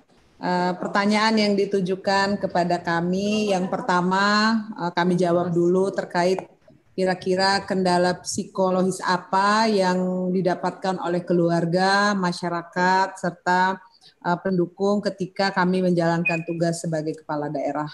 Uh, seperti yang disampaikan tadi oleh uh, Ibu Doktor bahwa sebelumnya kami mendampingi suami yang juga seorang pimpinan daerah. Nah, tentunya kalau dari sisi keluarga hampir tidak ada uh, kendala yang kami hadapi karena kami uh, sudah memang uh, mengabdikan diri untuk menjadi pelayan masyarakat. Dan tentunya di sini dari sisi keluarga mereka sudah uh, mandiri dan memahami seperti apa kesibukan kami, waktu yang terbatas untuk keluarga, dan kami lebih memfokuskan untuk melayani masyarakat. Justru uh, dengan posisi kami sebagai kepala daerah, khususnya kepala daerah perempuan, justru kedekatan, keterkaitan kami dengan masyarakat justru menjadi modal kami uh, untuk uh, lebih semangat lagi, lebih banyak berbuat karena tentunya uh, pimpinan daerah perempuan khususnya di NTB uh, masih sangat uh, kurang sehingga uh, banyak hal yang mendorong semangat kerja kami untuk lebih baik dengan menunjukkan prestasi di tengah-tengah masyarakat. Alhamdulillah uh, sampai dengan hari ini tidak ada kendala psikologis yang dirasakan oleh keluarga maupun masyarakat dengan keberadaan kami selaku uh, kepala daerah perempuan. Uh, kemudian bagaimana mempertahankan uh, modal politik, Bu. Uh, modal politik sebagai kepala daerah perempuan. Uh, iya. Sama mungkin ini berkaitan juga dengan dukungan uh, parpol, Bu. Dukungan parpol. Iya, ya. betul, Bu. Nah, jadi hari ini kami memberikan gambaran uh, bahwa uh, pimpinan daerah yang didorong oleh uh, partai politik di mana dia adalah selaku kader biasanya lebih memiliki uh, motivasi yang tinggi. Uh, mohon maaf saya tidak mengecilkan arti pimpinan daerah yang diusul dari jalur independen, tetapi dengan diusung dari jalur uh, partai, seorang sosok pimpinan kepala daerah khususnya kami merasakan bahwa kami punya tanggung jawab yang besar. Eh, selain kami berupaya meminimalisir setiap kekurangan yang eh, atau hal-hal kecil, kekeliruan yang kami lakukan, eh, kami punya beban besar adalah bagaimana parpol tempat kami berasal maupun parpol yang mengusung kami tidak merasa kecewa. Karena setiap pimpinan yang diusung oleh partai politik dia punya masa kerja lima tahun yang harus dijaga sampai dengan pemilihan selanjutnya. Walaupun bagi seorang pimpinan daerah yang sudah menjalani dua periode, uh, dia tentunya uh, tetap memiliki kewajiban menjaga hubungan baik, menjaga nama baik parpol, uh, sehingga ke depan siapa pun yang akan diusung, generasi selanjutnya atau kader-kader terbaik, uh, paling tidak kita sudah menunjukkan diri untuk menjadi contoh yang baik, menjadi kader yang baik. Dan tentunya tetap memiliki rasa terima kasih karena uh, sehebat apa pun seorang sosok pimpinan tanpa nama besar dan dukungan parpol saya rasa adalah suatu hal yang juga eh, kurang lengkap bagi kami. Itu pendapat kami. Kemudian uh, tentunya uh, modal politik adalah uh, kami berupaya setiap permasalahan harus kita hadapi langsung. Eh, walaupun permasalahan itu tidak lantas tuntas pada saat pembahasan, tetapi paling tidak ada gambaran yang bisa kita berikan kepada masyarakat bahwa eh, itu akan dibahas secara bersama dan akan kita carikan jalan keluar terbaik. Eh, kemudian juga adalah memberikan pelayanan karena inti kedekatan masyarakat yang di pemimpin yang dipilih langsung oleh masyarakat, masyarakat kecenderungan merasa semuanya harus dilayani langsung oleh susuk pimpinan. Ya, jadi mohon maaf kadang-kadang keberadaan wakil juga kadang-kadang uh, masih dianggap kurang utama oleh masyarakat ketika berhadapan pada situasional tertentu. Jadi sekali lagi inilah risiko yang harus dihadapi oleh pemimpin yang dipilih langsung oleh masyarakat. Masyarakat merasa tidak memiliki jarak. Eh, berharap semuanya tertangani langsung Nah, walaupun tentunya kita semua memahami tidak mungkin seorang sosok pimpinan bekerja sendiri tanpa didukung oleh eh, aparat-aparat yang handal di sampingnya. Saya rasa cukup mungkin penyampaian dari kami. Terima kasih. Baik, terima kasih Ibu Indah Bupati Bima dan sebelumnya Ibu Endah dari Kementerian Pemberdayaan Perempuan dan Perlindungan Anak serta Ibu Kuniarti Hasdewi dari LIPI yang telah memberikan insight, pengetahuan, tambahan ilmu kepada kami semua, termasuk saya juga moderator dan para peserta uh, tentang pentingnya dan memang betul real nyata bahwa perempuan kepala daerah sudah berperan dalam uh, menanggulangi kemiskinan dan juga perempuan kepala daerah juga sudah uh, ber kinerja nyata dalam uh, mengatasi uh, wabah pandemi di daerahnya masing-masing seperti itu. Bapak dan Ibu sekalian, saya tidak tidak tidak akan menyimpulkan uh, hasil dari diskusi kita pada hari ini. Saya hanya ingin uh, membangun semangat lagi bahwa perspektif gender itu penting. Bukti dari hasil diskusi ini adalah perempuan bisa berkiprah dan tetapi juga perempuan tidak seperti yang dikatakan oleh Ibu Indah tadi terakhir, perempuan tidak tidak dapat berkiprah secara diri sendiri, perlu ada dukungan sistem di belakang yang kuat untuk bisa sama-sama memajukan bangsa dengan perspektif gender yang selama ini kita yakini harus di harus utamakan dalam setiap kebijakan pembangunan yang dilakukan di Indonesia. Baik, terima kasih sekali lagi atas partisipasinya. Saya kembalikan kepada uh, Ibu Leti selaku MC. Eh, terima kasih Mas Andi. Uh, baiklah, hadirin sekalian, uh, sampailah kita pada penghujung acara. Kami akan membacakan hasil polling yang tadi sudah kami sebarkan di tengah acara kepada uh, Bapak Ibu semua yang ada di sini mengenai apa pendapat Anda mengenai perempuan kepala daerah. Nah, dari delapan pilihan yang uh, diberikan, yang menjawab sama saja dengan laki-laki itu ada 12 persen, lebih peduli pada persoalan perempuan dan anak 40 persen, lebih sensitif dan responsif itu sebanyak 28 persen, sebagai boneka oligarki, oligarki itu 16 persen, mandiri dan berintegritas 4 persen, efektif dalam mengambil keputusan 0 persen, kolaboratif 0 persen, dan tidak menyukai konflik itu 0 persen. Eh, meskipun ini tidak uh, tidak mewakili, tetapi setidaknya memberikan suatu gambaran bahwa dari uh, peserta yang ada di sini uh, memberikan respon tertinggi bahwa uh, perempuan kepala daerah ternyata lebih peduli pada persoalan perempuan dan anak. Mungkin uh, itu hasil pollingnya. Kemudian uh, apabila ada masukan dari peserta yang belum disampaikan terkait dengan acara webinar ini, silahkan disampaikan ke email politik@mail.lipi.go.id. Hadirin sekalian, usailah sudah acara webinar kali ini. Kami ucapkan terima kasih kepada Ibu Deputi Ilmu Pengetahuan Sosial dan Kemanusiaan LIPI, para pembicara, moderator, dan tentunya kepada para peserta webinar yang telah hadir di sini maupun hadir secara live di YouTube. Kami mohon maaf jika ada kekurangan dan kehilafan.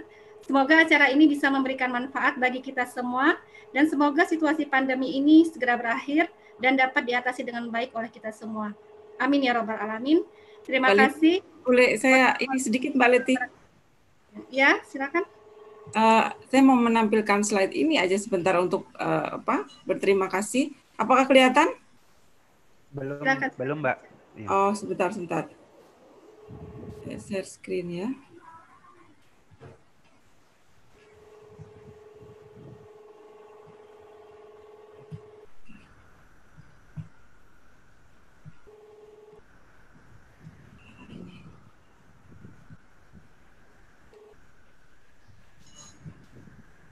Nah, sebelum closing, saya mau mengaturkan terima kasih kepada karena ini adalah eh, studi gender yang percaya bahwa pengalaman perempuan itu bisa menjadi sumber pengetahuan.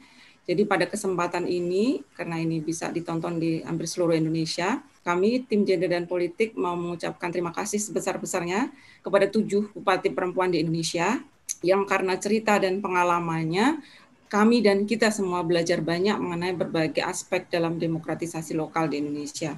Ada aspek gender, ada aspek familial ties, ada aspek uh, apa namanya dem, apa namanya demokratisasi lokal, uh, berbagai macam aspek uh, dan dari berbagai macam sisi. Jadi tujuh bupati perempuan itu adalah Bupati uh, Bima, kemudian Bupati Tabanan, Bupati Grobogan, Bupati Wali Kota Tangerang Selatan, Bupati Nunukan, Bupati Lampung Timur, dan Bupati Indramayu. Mudah-mudahan uh, dengan kami tim gender dan politik mendedikasikan penelitian selama lima tahun ini bermanfaat bagi kita semua dan bagi pengaruh utamaan gender di Indonesia. Terima kasih banyak para pemimpin dan kepala daerah perempuan. Assalamualaikum warahmatullahi wabarakatuh. Terima kasih Mbak Nia. Tadi kita sudah closing. Mungkin sebelum uh, acara ini ditutup bisa foto bersama dulu mumpung Ibu tadi Bu Indah belum sempat hadir di sini pada saat sesi foto. Silakan host diambil foto. Uh, baik, saya hitung sampai tiga ya, Ibu-Ibu. Uh, satu, dua, tiga. Iya, terima kasih. Terima kasih uh, Mas Pandu. Uh, sekali lagi kami ucapkan terima kasih kepada Ibu Enda Sri Rejeki, Ibu Indah, Bu Kurniawati Hasuti Dewi dan Mas Sandi Nur Ipar Harjo dan beserta uh, dan juga Ibu Deputi mungkin yang masih ada di sini Ibu Profesor Dr. Trinuka Pujiastuti dan juga kepada panitia. Semoga uh, dari hasil webinar ini bisa memberikan manfaat bagi kita semua dan membuat kita semakin termotivasi apalagi dalam situasi pandemi COVID-19 ini. Terima kasih banyak. Wassalamualaikum warahmatullahi wabarakatuh.